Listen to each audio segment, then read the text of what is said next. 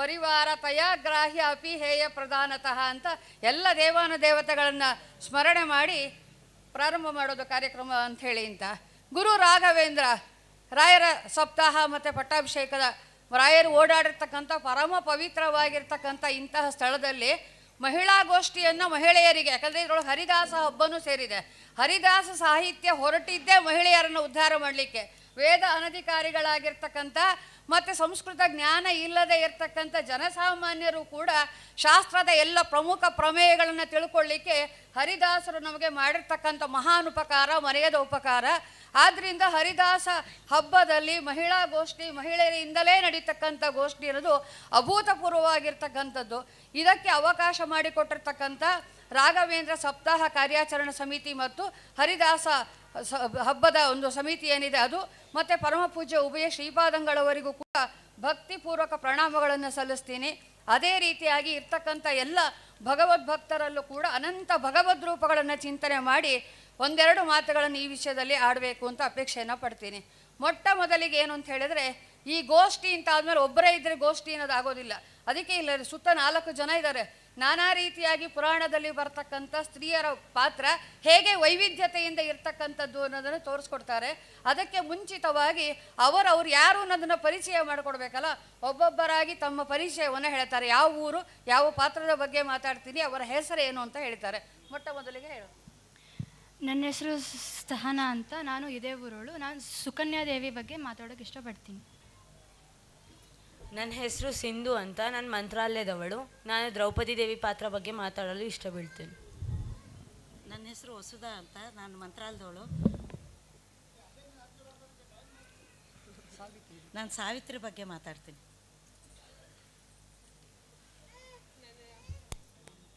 Hello? ದುರ್ಗದಲ್ಲಿ ನನ್ನ ಮಾಧವಿ ಅಂತ ಕರೀತಾರೆ ಮಂತ್ರಾಲಯದಲ್ಲಿ ಹರಿಣಿ. ನಾನು ಸುನೀತಿ ಬಗ್ಗೆ ಮಾತಾಡ್ತಾ ಇದ್ದೀನಿ. ಸ್ತ್ರೀ ಜನ್ಮ ಅನ್ನೋದು ವಿಶಿಷ್ಟವಾಗಿರ್ತಕ್ಕಂಥದ್ದು. ಜನ ಎಲ್ಲ ತಿಳ್ಕೊಂಡಂಗೆ ಹೆಣ್ಣು ಅಂದ ತಕ್ಷಣ ಅವಳಿಗೇನು ಸ್ಥಾನಮಾನ ಇಲ್ಲ ಅಂತ ತಪ್ಪು ಯಾರು ತಿಳ್ಕೊಬೇಡ್ರಿ. ಶ್ರೀಮದಾಚಾರ್ಯರು ಮೊಟ್ಟ ಮೊದಲಿಗೆ ಹೇಳ್ತಾರೆ ಕನ್ಯೋದಿತಾ ಬತ ಉಭಯ ಕುಲ ಧಾರಿಣಿ ಇತೀತ ಎರಡು ಕುಲವನ್ನು ಉದ್ಧಾರ ಮಾಡ್ತಕ್ಕಂಥವಳು ಹೆಣ್ಣು ಅಂತೇಳಿ ಹೆಣ್ಣಿಗೆ ಭಾರೀ ಗೌರವವನ್ನು ಕೊಟ್ಟಿರ್ತಕ್ಕಂಥವ್ರು ಅಂದರೆ ಶ್ರೀಮದಾಚಾರ್ಯರು.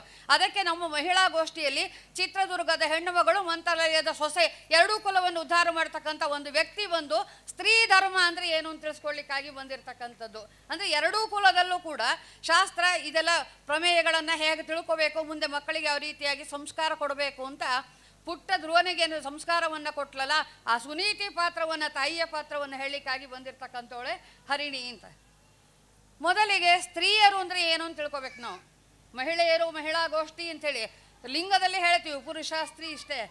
ಆದರೆ ನಮ್ಮ ಶಾಸ್ತ್ರ ಸ್ತ್ರೀ ಅನ್ನೋದಕ್ಕೆ ಏನು ಹೇಳ್ತಾ ಇದೆ ಅಂತ ಕೇಳಿದ್ರೆ, ಶ್ರೀಮದ್ ಆಚಾರ್ಯ ಹೇಳ್ದಂಗೆ ಎರಡೂ ಕುಲವನ್ನು ಉದ್ಧಾರ ಮಾಡಬೇಕು ಅಂತ ಎಲ್ಲ ಪಾವಿತ್ರ್ಯ ಬಂದಿದೆ. ಪುರುಷ ಸಂಪಾದನೆ ಮಾಡಿರೋ ಪುಣ್ಯದಲ್ಲಿ ಕಷ್ಟಪಟ್ಟು ಗಳಿಸಿರ್ತಕ್ಕಂಥ ಪುಣ್ಯದಲ್ಲಿ ಸರಿಯಾಗಿ ಅರ್ಧ ಭಾಗವನ್ನು ತೊಗೊಳ್ಳುವಂತಹ ಯೋಗ್ಯತೆ ಬರಬೇಕು ಅಂತ ಆದರೆ ಸ್ತ್ರೀ ಹೇಗಿರಬೇಕು, ಸ್ತ್ರೀ ಶಬ್ದಕ್ಕೆ ಅರ್ಥ ಏನು ಇತ್ಯಾದಿ ಎಲ್ಲ ಈ ಇದರೊಳಗೆ ತಿಳಿಸ್ತಾರೆ. ಮಹಾಭಾರತಾದಿ ಗ್ರಂಥಗಳಲ್ಲಿ ನಮಗೆ ತಿಳಿಸ್ತಾರೆ.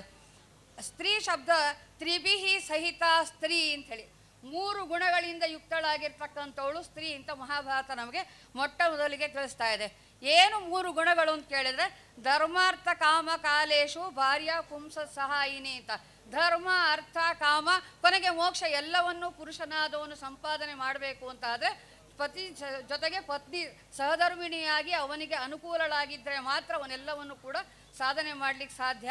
ಅಂತಹ ಉತ್ತಮ ಮಟ್ಟ ಅಂದರೆ ತ್ರಿಭಿಹಿ ಸಹಿತ ಮೂರು ಗುಣಗಳಿಂದ ಯುಕ್ತಳಾಗಿರ್ತಕ್ಕಂಥವಳೆ ಸ್ತ್ರೀ ಅಂತೇಳಿ ಧರ್ಮ, ಅರ್ಥ, ಕಾಮ ಅಂಥೇಳಿದ ತಕ್ಷಣ ಕಾಮ ಅಂದರೆ ಯಾವ ರೀತಿಯಾಗಿರ್ತಕ್ಕಂಥದ್ದು ಅಂದರೆ ಶಾಸ್ತ್ರ ವಿರುದ್ಧ ಅಲ್ಲದೆ ಇರ್ತಕ್ಕಂಥ ಕಾಮ. ಅದಕ್ಕೆ ಪತಿ, ಪತ್ನಿಯಾಗಿರ್ತಕ್ಕಂಥವಳು ಪತಿಯ ಜೊತೆಯಲ್ಲಿರಬೇಕು ಅಂತಹವಳನ್ನು ಸ್ತ್ರೀ ಅಂತ ಹೇಳಿ. ಧನ್ಯೋ ಗೃಹಸ್ಥಾಶ್ರಮ ಅಂತ ಶಾಸ್ತ್ರ ಹೇಳ್ತಾ ಇದೆ. ಗೃಹಸ್ಥಾಶ್ರಮ ಅನ್ನೋದು ಅತ್ಯಂತ ಧನ್ಯವಾಗಿರ್ತಕ್ಕಂಥದ್ದು. ಯಾಕೆ ಅಂದರೆ ಬ್ರಹ್ಮಚಾರಿ ಆದಾಗ ವೈಶ್ವದೇವ ನೈವೇದ್ಯ ಅಥವಾ ಬೇರೆ ಹೋಮಗಳನ್ನು ಮಾಡಲಿಕ್ಕೆ ಅವಕಾಶ ಇರೋದಿಲ್ಲ, ಅಧಿಕಾರ ಇರೋದಿಲ್ಲ.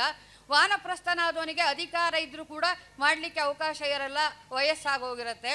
ಇನ್ನು ಯತಿಯಾದವರಿಗೆ ಹೋಮಕ್ಕೆ ಆಹುತಿ ಕೊಡೋದು ಇತ್ಯಾದಿ ಅಗ್ನಿ ಸಂಪರ್ಕದ ಕೆಲಸಗಳನ್ನು ಮಾಡಲಿಕ್ಕೆ ಅವಕಾಶ ಇರೋದಿಲ್ಲ. ಮೂರನ್ನು ಸಂಸಾರಾವಸ್ಥೆಯಲ್ಲಿ ಪತಿ ಪತ್ನಿಯ ಜೊತೆಯಾಗಿದ್ದು ಸಾಧಿಸ್ಲಿಕ್ಕಾಗ್ತಕ್ಕಂಥದ್ದು ಆದ್ದರಿಂದ ತ್ರಿವಿಹಿ ಸಹಿತ ಮೂರರಿಂದ ಯುಕ್ತಳಾಗಿರ್ತಕ್ಕಂಥ ಪತ್ನಿಯಾದವಳು ಜೊತೆಗಿರಬೇಕು ಅಂತ ಆದರೆ ಎಲ್ಲವನ್ನು ಸಾಧಿಸ್ಲಿಕ್ಕೆ ಸಾಧ್ಯ.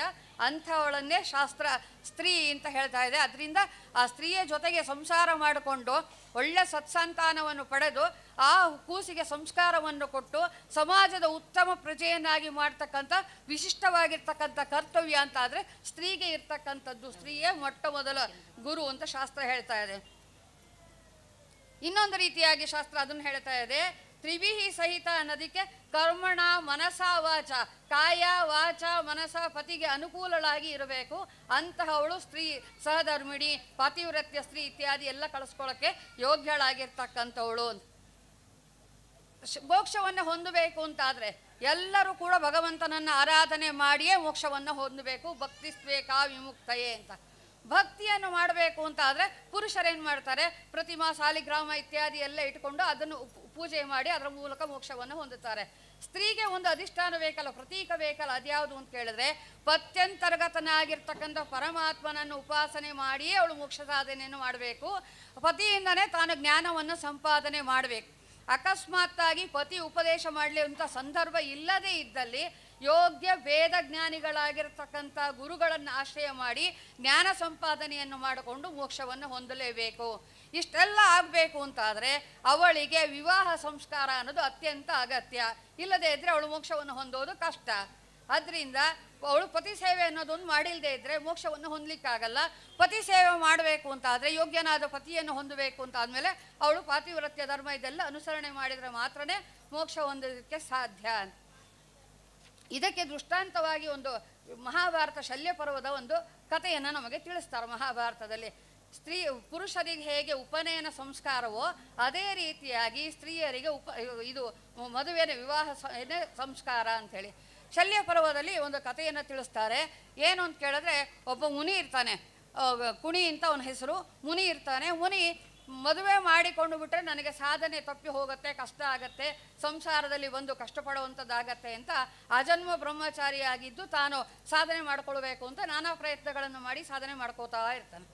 ಕಾಲಾಂತರದಲ್ಲಿ ವಯಸ್ಸಾಗತ್ತೆ, ದೇಹ ಜರ್ಜರಿತ ಆಗತ್ತೆ, ಅವಾಗ ಅನಿಸುತ್ತೆ, ಒಬ್ಬ ಮಗಳೋ ಮಗನೋ ಇದ್ದಿದ್ರೆ ನನಗೆ ಈ ಸಾಧನೆಯಲ್ಲಿ ಸಹಕಾರವನ್ನು ಕೊಡ್ತಿದ್ರು, ಅನುಕೂಲ ಆಗ್ತಿತ್ತು ಅಂತ. ಒಳ್ಳೆ ತಪಸ್ವಿ, ಯೋಗ್ಯನಾಗಿರ್ತಕ್ಕಂಥ ಮುನಿ, ಯೋಗ್ಯರಾಗಿರ್ತಕ್ಕಂಥ ಸಿದ್ಧ ಪುರುಷರೆಲ್ಲ ವಿವಾಹ ಆಗಬೇಕು ಅಂತ ಏನಿಲ್ಲ. ಮನಸ್ಸಿನಿಂದ ಕನ್ಯೆಯನ್ನು ಸೃಷ್ಟಿ ಮಾಡ್ತಾರೆ ಸ್ಪರ್ಶನದಿಂದ ದರ್ಶನದಿಂದ, ಹೀಗೆಲ್ಲ. ಅದಕ್ಕೆ ಪ್ರಮಾಣ ಬೇಕು ಅಂತ ಆದರೆ ವೇದವ್ಯಾಸ ದೇವರು ಕುಂತಿ ದೇವಿಗೆ ಹೇಳ್ತಾರೆ, ಸಿದ್ಧ ಪುರುಷರು ನಾನಾ ರೀತಿಯಿಂದ ಮಕ್ಕಳನ್ನು ಪಡೀತಾರೆ ಅಂತ. ಹಾಗೆ ಆ ಪುರುಷ ಒಬ್ಬ ಸ್ತ್ರೀ ಮಗಳನ್ನು ಪಡಿತಾಳೆ ಮಗಳು ಹುಟ್ಟಿದ ತಕ್ಷಣ ಅವಳು ಬಂದು, ಅಪ್ಪ, ನಿನ್ನ ಸಾಧನೆಗೆ ನಾನು ಯಾವ ರೀತಿಯಾಗಿ ಸಹಾಯ ಮಾಡಲಿ ಅಂತೇಳಿ ವಿನೀತಳಾಗಿ ಕೈ ಮುಗಿದು ಬಂದು ತಂದೆಯನ್ನು ಕೇಳ್ಕೊತಾಳೆ, ಯಾವ ರೀತಿಯಾಗಿ ನಿನಗೆ ಸಹಾಯ ಮಾಡಲಿ ಅಂತ. ಸರಿ, ಅವಳು ಸಹಾಯ ಮಾಡ್ತಿರ್ತಾಳೆ, ಯೋಗ್ಯ ವಯಸ್ಸಿಗೆ ಬಂದ ಮೇಲೆ ಅಪ್ಪ ಮದುವೆ ಮಾಡಬೇಕು ಅಂತಾನೆ. ಇಲ್ಲ, ನಾನು ಮದುವೆ ಆಗಲ್ಲ, ಹೀಗೆ ಅಜನ್ಮ ಬ್ರಹ್ಮಚಾರಿಯಾಗಿದ್ದು, ನಾನು ನೀನು ಹೇಗೆ ಸಾಧನೆ ಮಾಡಿಕೊಂಡೆ ನಾನು ಹಾಗೆ ಮಾಡ್ಕೋಬೇಕು ಅಂತ ಅವಳು ಹೇಳ್ತಾಳೆ. ಅಷ್ಟೊತ್ತಿಗೆ ನಾರದ್ರ ಅವರ ಆಶ್ರಮಕ್ಕೆ ಬರ್ತಾರೆ. ಬಂದು ಹೇಳ್ತಾರೆ, ನೀನು ಹೀಗೆ ಮೋಕ್ಷ ಪಡಿಬೇಕು ಅಂತ ಆದರೆ ಸಾಧ್ಯ ಇಲ್ಲ, ನೀನು ವಿವಾಹ ಆಗಲೇಬೇಕು. ಯಾಕಂದರೆ ನೀನು ಜ್ಞಾನ, ಯಜ್ಞ, ತಪಸ್ಸು ಹಿರಿಯರ ಸೇವೆ ಎಲ್ಲ ಮಾಡಿದರೂ ಕೂಡ ಪತಿ ಸೇವೆ ಒಂದು ಮಾಡಿಲ್ಲ. ನಿನಗೆ ಪತ್ಯಂತರ್ಗತ ಪರಮಾತ್ಮನನ್ನೇ ಉಪಾಸನೆ ಮಾಡಬೇಕು, ನಿನಗೆ ಅದೇ ಪ್ರತೀಕ. ಪುರುಷರಂತೆ ಸಾಲಿಗ್ರಾಮವು ಬೇರೆ ಪ್ರತಿಮೆಯೋ ಇಟ್ಕೊಂಡು ನಿನಗೆ ಷೋಡಶೋಪಚಾರ, ಪೂಜೆ ಇತ್ಯಾದಿ ಯಾವ ಕರ್ತವ್ಯವನ್ನು ಹೇಳಿಲ್ಲ. ನೀನು ಪತ್ಯಂತರ್ಗತ ಪರಮಾತ್ಮನನ್ನು ಉಪಾಸನೆ ಮಾಡಿ, ಪತಿ ಮಾಡತಕ್ಕಂಥ ಎಲ್ಲ ಕೆಲಸಗಳಲ್ಲಿ ಸಹಾಯಕ ಆಗಿದ್ದು ಸ್ವ ಉಚಿತ ವರ್ಣಾಶ್ರಮಕ್ಕೆ ವಿಹಿತವಾಗಿರ್ತಕ್ಕಂಥ ಧರ್ಮ ಕರ್ಮಗಳನ್ನು ಅನುಷ್ಠಾನ ಮಾಡಿದರೆ, ಪತಿ ಕಷ್ಟಪಟ್ಟು ಎಷ್ಟೆಲ್ಲ ಪುಣ್ಯವನ್ನು ಸಂಪಾದನೆ ಮಾಡ್ತಾನೋ, ಅದರೊಳಗೆ ಅರ್ಧ ಭಾಗ ನೀನು ಪಡೀಲಿಕ್ಕೆ ಸಾಧ್ಯ. ಅಂದರೆ ಪತಿ ಮಾಡಿದ್ರೊಳಗೆ ನನಗೆ ಅರ್ಧ ಬರುತ್ತೆ. ಅದರಿಂದ ಚಳಿ ಒಳಗೆ ಕರ್ಕೊಂಡೋಗಿ ಮಾಘ ಮಾಸದಲ್ಲಿ ಕಾಶಿಯಲ್ಲಿ ಗಂಗಾ ಸ್ನಾನ ನೀನು ಮಾಡು. ನಾನೇನು ಚಳಿಯಲ್ಲಿ ಕಷ್ಟಪಡಲ್ಲ, ರೂಮಲ್ಲಿ ಬಿಸಿ ನೀರು ಮಾಡ್ತೀನಿ. ಯಾಕಂದರೆ ನನಗೆ ಹೆಂಗೂ ನನ್ನಿಂದ ಅರ್ಧ ನನಗೆ ಒಂದೇ ಬರುತ್ತೆ ಅಂದರೆ ಅದಲ್ಲ. ಪತಿಗೆ ಸಹಾಯಕಳಾಗಿ ಎಲ್ಲ ಕಾಲದಲ್ಲೂ ಅಧೀನಳಾಗಿದ್ದು ಅವನು ಮಾಡ್ತಕ್ಕಂಥ ಸೇವಾ, ಪೂಜಾ ಇತ್ಯಾದಿ ಎಲ್ಲ ಸಹಕಾರ ಕೊಟ್ಟರೆ ಮಾತ್ರ ಪುಣ್ಯ ಹೊರತು. ಕೇವಲ ಪತ್ನಿ ಸ್ಥಾನವನ್ನು ಅಲಂಕರಿಸಿದ್ದೀನಿ ಅಂತ ಅಂದ ತಕ್ಷಣ ಅರ್ಧ ಪುಣ್ಯ ಬರೋದಿಲ್ಲ. ಇದು ಜಾಗರೂಕರಾಗಿ ಹೆಣ್ಣು ಮಕ್ಕಳು ಎಚ್ಚರವನ್ನು ವಹಿಸ್ಬೇಕು. ಆದ್ದರಿಂದ ಆ ರೀತಿಯಾಗಿ ಮಾಡಿದ್ರೆ ಪುಣ್ಯ ಬರುತ್ತೆ ಅಂತೆಲ್ಲ ಹೇಳ್ತಾರೆ. ಆಗ ಬಹಳ ಯೋಚನೆ ಮಾಡ್ತಾಳೆ ನಾರದರ ಮಾತನ್ನು ಕೇಳಿ, ಇಷ್ಟೆಲ್ಲ ನಾನು ಬೇಕಾದಷ್ಟು ಸಾಧನೆ ಮಾಡಿಕೊಂಡೆ, ಆದರೆ ಪತಿ ಸೇವೆ ಮಾಡಿಲ್ಲ ಅನ್ನೋ ಒಂದು ಕಾರಣಕ್ಕೆ ನನಗೆ ಮೋಕ್ಷ ತಪ್ಪತ್ತೆ ಅಥವಾ ಸದ್ಗತಿ ಆಗೋದು ತಪ್ಪತ್ತೆ ಅಂತ ಆದರೆ ಈಗ ಏನಾರ ಒಂದು ಉಪಾಯವನ್ನು ಮಾಡಲೇಬೇಕಲ್ಲ ಅಂಥೇಳಿ ಋಷಿಮುನಿಗಳಿಗೆಲ್ಲ ಹೇಳ್ತಾಳೆ, ಹೇಳಿ ಕಳಿಸ್ತಾಳೆ. ಈ ಥರ ನಾನು ಈಗ ನಾರದರ ಆಜ್ಞೆಯಂತೆ ವಿವಾಹ ಆಗಬೇಕು ಅಂತ ಇಚ್ಛೆ ಪಟ್ಟಿದ್ದೀನಿ. ನನಗೂ ವಯಸ್ಸಾಗಿದೆ ನಿಜ.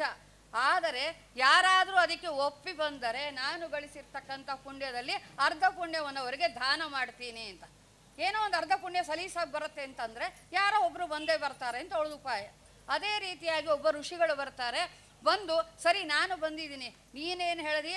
ವಿವಾಹ ಆದರೆ ಅರ್ಧ ಪುಣ್ಯ ಅಂತ ಹೇಳಿದೆ. ನಿನ್ನ ಕರಾರಿಗೆ ನಾನು ಒಪ್ಪು ಬಂದಿದ್ದೀನಿ. ಆದರೆ ನನ್ನದೂ ಒಂದು ಕರಾರಿದೆ ಅಂತಾನೆ ಬಂದು ಋಷಿ. ಏನು ನಿನ್ನ ಕರಾರು ತಿಳಿಸು ಅಂತ ಹೇಳ್ತಾನೆ. ನಾನು ಒಂದು ದಿನ ಮಾತ್ರ ನಿನ್ನ ಜೊತೆಗೆ ಇರೋದು. ನೀ ಅರ್ಧ ಪುಣ್ಯ ಕೊಡು, ನಾನು ನಿನಗೆ ವಿವಾಹ ಆಯಿತು ಕನ್ಯಾಸರ ಬಿಡಿಸ್ದಂಗಾಯ್ತು ನಾನು ಹೋಗ್ತೀನಿ ಅಂತೇಳಿ. ಆಯಿತು, ಅವಳು ಅದನ್ನೇ ಪತಿ ಸೇವೆಯನ್ನು ಅಲ್ಲಿ ಭಾರಿ ಪತಿವ್ರತ ಪರಾಯಣಳಾಗಿ ಚೆನ್ನಾಗಿ ಸೇವೆ ಮಾಡಿ ಆ ಋಷಿ ಆಶ ಅನುಗ್ರಹವನ್ನು ಪಡ್ಕೊಂಡು ತಾನು ಸದ್ಗತಿಯನ್ನು ಹೊಂದಿದ್ಲು ಅಂತ.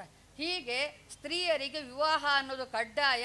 ಕಡ್ಡಾಯ ಹೇಗೋ ಹಾಗೆ ಪತಿ ಪೂಜನ ತತ್ಪರ, ಪತಿ ಅಂತರ್ಗತನಾಗಿರ್ತಕ್ಕಂಥ ಪತಿಯ ಸೇವೆ ಪತಿಯ ಅಂತರ್ಗತನಾಗಿರ್ತಕ್ಕಂಥ ಪರಮಾತ್ಮನ ಸೇವೆ ಕೇವಲ ಅಷ್ಟೇ ಅಲ್ಲ, ಅತ್ತೆ ಮಾಮಂದಿರು ಬರ್ತಕ್ಕಂಥ ಅತಿಥಿಗಳು ಎಲ್ಲರಿಗೆ ಯಥಾಯೋಗ್ಯವಾಗಿ ಸೇವೆ ಮಾಡಿದರೆ ಪತಿ ಕಷ್ಟಪಟ್ಟು ಏನು ಪಿತೃದೇವತೆಗಳ ಉದ್ದೇಶದಿಂದ ಶ್ರದ್ಧಾದಿ ಕರ್ಮಗಳನ್ನು ಮಾಡಿರ್ಬೋದು, ದೇವತಾ ಉದ್ದೇಶದಿಂದ ಮಾಡಿರ್ತಕ್ಕಂಥ ಕರ್ಮಗಳಿರ್ಬೋದು, ತೀರ್ಥಯಾತ್ರಾದಿ ಪ್ರಸಂಗಗಳಿರ್ಬೋದು, ಅಲ್ಲೆಲ್ಲ ಕಷ್ಟಪಟ್ಟು ಎಷ್ಟು ಪುಣ್ಯವನ್ನು ಗಳಿಸಿರ್ತಾನೋ ಅಷ್ಟೆಲ್ಲವನ್ನು ಪತಿಯ ಜೊತೆಗೆ ಎಷ್ಟೆಲ್ಲ ಹೊಂದಾಣಿಕೆಯಿಂದ ಇದ್ದು ಪತಿಗೆ ಅನುಕೂಲಳಾಗಿ ಪತಿಯ ವಶದಲ್ಲಿ ಪತಿಯ ಆಜ್ಞೆಯನ್ನು ಯಾವಾಗ ವಿರೋಧ ಮಾಡೋದು ಅಂದರೆ ಅವನು ಶಾಸ್ತ್ರಕ್ಕೆ ವಿರುದ್ಧವಾದದ್ದನ್ನೇನಾದರೂ ಹೇಳಿದರೆ ಮಾತ್ರ ಉಲ್ಲಂಘನೆ ಮಾಡಬೇಕೇ ಹೊರತು ಶಾಸ್ತ್ರ ಸಮ್ಮತವಾದಿದ್ದಕ್ಕೆ ಸಹಕಾರವನ್ನು ಕೊಟ್ಕೊಂಡು ಯಾರಿರ್ತಾಳೋ ಅಂತಹವಳು ಪತಿಯ ಪುಣ್ಯದಲ್ಲಿ ಅರ್ಧ ಪುಣ್ಯವನ್ನು ಪಡಿತಾಳೆ ಅಂತ ಅದಕ್ಕೆ ಭಾಗವತ ಹೇಳಿದ್ದು ಅದನ್ನೇ. ಪತಿನೇ ಪರಮಾತ್ಮ ಅಂತ ಉಪಾಸನೆ ಮಾಡೋದಲ್ಲ, ಪ್ರತಿಮೆಯಲ್ಲಿ ಅಂತರ್ಯಾಮಿತ್ವೇನ ಹೇಗೆ ಉಪಾಸನೆಯನ್ನು ಮಾಡ್ತೀವೋ, ಇಲ್ಲಿ ಪತಿ ಅಂತರ್ಗತನಾಗಿರ್ತಕ್ಕಂಥ ಪರಮಾತ್ಮನನ್ನೇ ಉಪಾಸನೆ ಮಾಡಿದರೆ ಅದು ಸದುಪಾಸನೆ ಅಂತ ಕರೆಸ್ಕೊಳ್ಳುತ್ತೆ. ಅದು ವಿಶಿಷ್ಟವಾಗಿರ್ತಕ್ಕಂಥ ಪುಣ್ಯಕ್ಕೆ ಕಾರಣವಾಗ್ತಾ ಇದೆ ಅಂತ ಅದೇ ರೀತಿಯಾಗಿ ಸನಾತನ ಧರ್ಮ ಕಾರ್ಯ, ಸೇವಾ, ಶುಶ್ರೂಷ ಎಲ್ಲ ಆಗಬೇಕು ಅಂತಾದರೆ ಪತಿಗೂ ಕೂಡ ಸ್ತ್ರೀ ಅವಶ್ಯಕತೆ ಅನ್ನೋದು ಅತ್ಯಂತ ಅವಶ್ಯಕ ಅಂತ. ಕೇವಲ ಪತ್ನಿಗೆ ಸೇಫ್ಟಿ ಬೇಕು, ಸೆಕ್ಯೂರಿಟಿ ಬೇಕು, ಅರ್ಧ ಪುಣ್ಯ ಗಳಿಸ್ಬೇಕು ಅಂತೇಳಿ ಪತಿಗೆ ಮಾ, ಪತ್ನಿಗೆ ಮಾತ್ರ ಇದು ಅಂತಲ್ಲ ಪತಿಯೂ ಕೂಡ ಗೃಹಸ್ಥಾಶ್ರಮವನ್ನು ಸ್ವೀಕಾರ ಮಾಡಿದರೆ ಮಾತ್ರ ಸರಿದಾರಿಯಲ್ಲಿ ಹೆಚ್ಚಿನ ಸಾಧನೆಯನ್ನು ಮಾಡೋದಕ್ಕೆ ಸಾಧ್ಯ. ಅನ್ಯೋನ್ಯವಾಗಿ ಪರಸ್ಪರ ಹೊಂದಾಣಿಕೆಯಿಂದ ಎಷ್ಟೆಲ್ಲ ಮಾಡಿದ್ರೆ ಇಬ್ಬರೂ ಕೂಡ ಸದ್ಗತಿಯನ್ನು ಮುಂದೆ ಹೊಂದಲಿಕ್ಕೆ ಸಾಧ್ಯ ಅಂತ.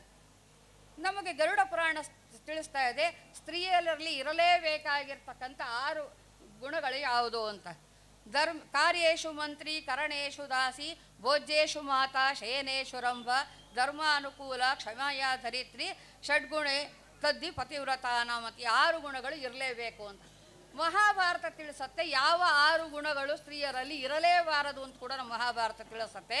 ಪಾನಂ ಯಾವುದು ಸುರಾಪಾನ ಇತ್ಯಾದಿಗಳು, ದುರ್ಜನ ಸಂಸರ್ಗ, ದುಷ್ಟ ಜನರ ಸಹವಾಸ ಮಾಡೋದು ಪತ್ಯಾಚ ವಿರಹೆ, ಪತಿಯನ್ನು ಬಿಟ್ಟು ಎಲ್ಲೆಲ್ಲೋ ತನ್ನಷ್ಟಕ್ಕೆ ತಾನು ಹೋಗೋದು ಇತ್ತೆಲ್ಲ ಇರಬಾರ್ದು. ಹಠನಂ, ಸ್ವಪ್ನಂ ಅನ್ಯ ಗೃಹೇ ವಾಸಃ, ಇತ್ಯಾದಿ ಯಾವುದು ಕೂಡ ನಾರಿಯಾಗಿರ್ತಕ್ಕಂಥವಳು ಮಾಡಬಾರ್ದು. ಪತಿಯ ಜೊತೆಗೇ ಇರಬೇಕು.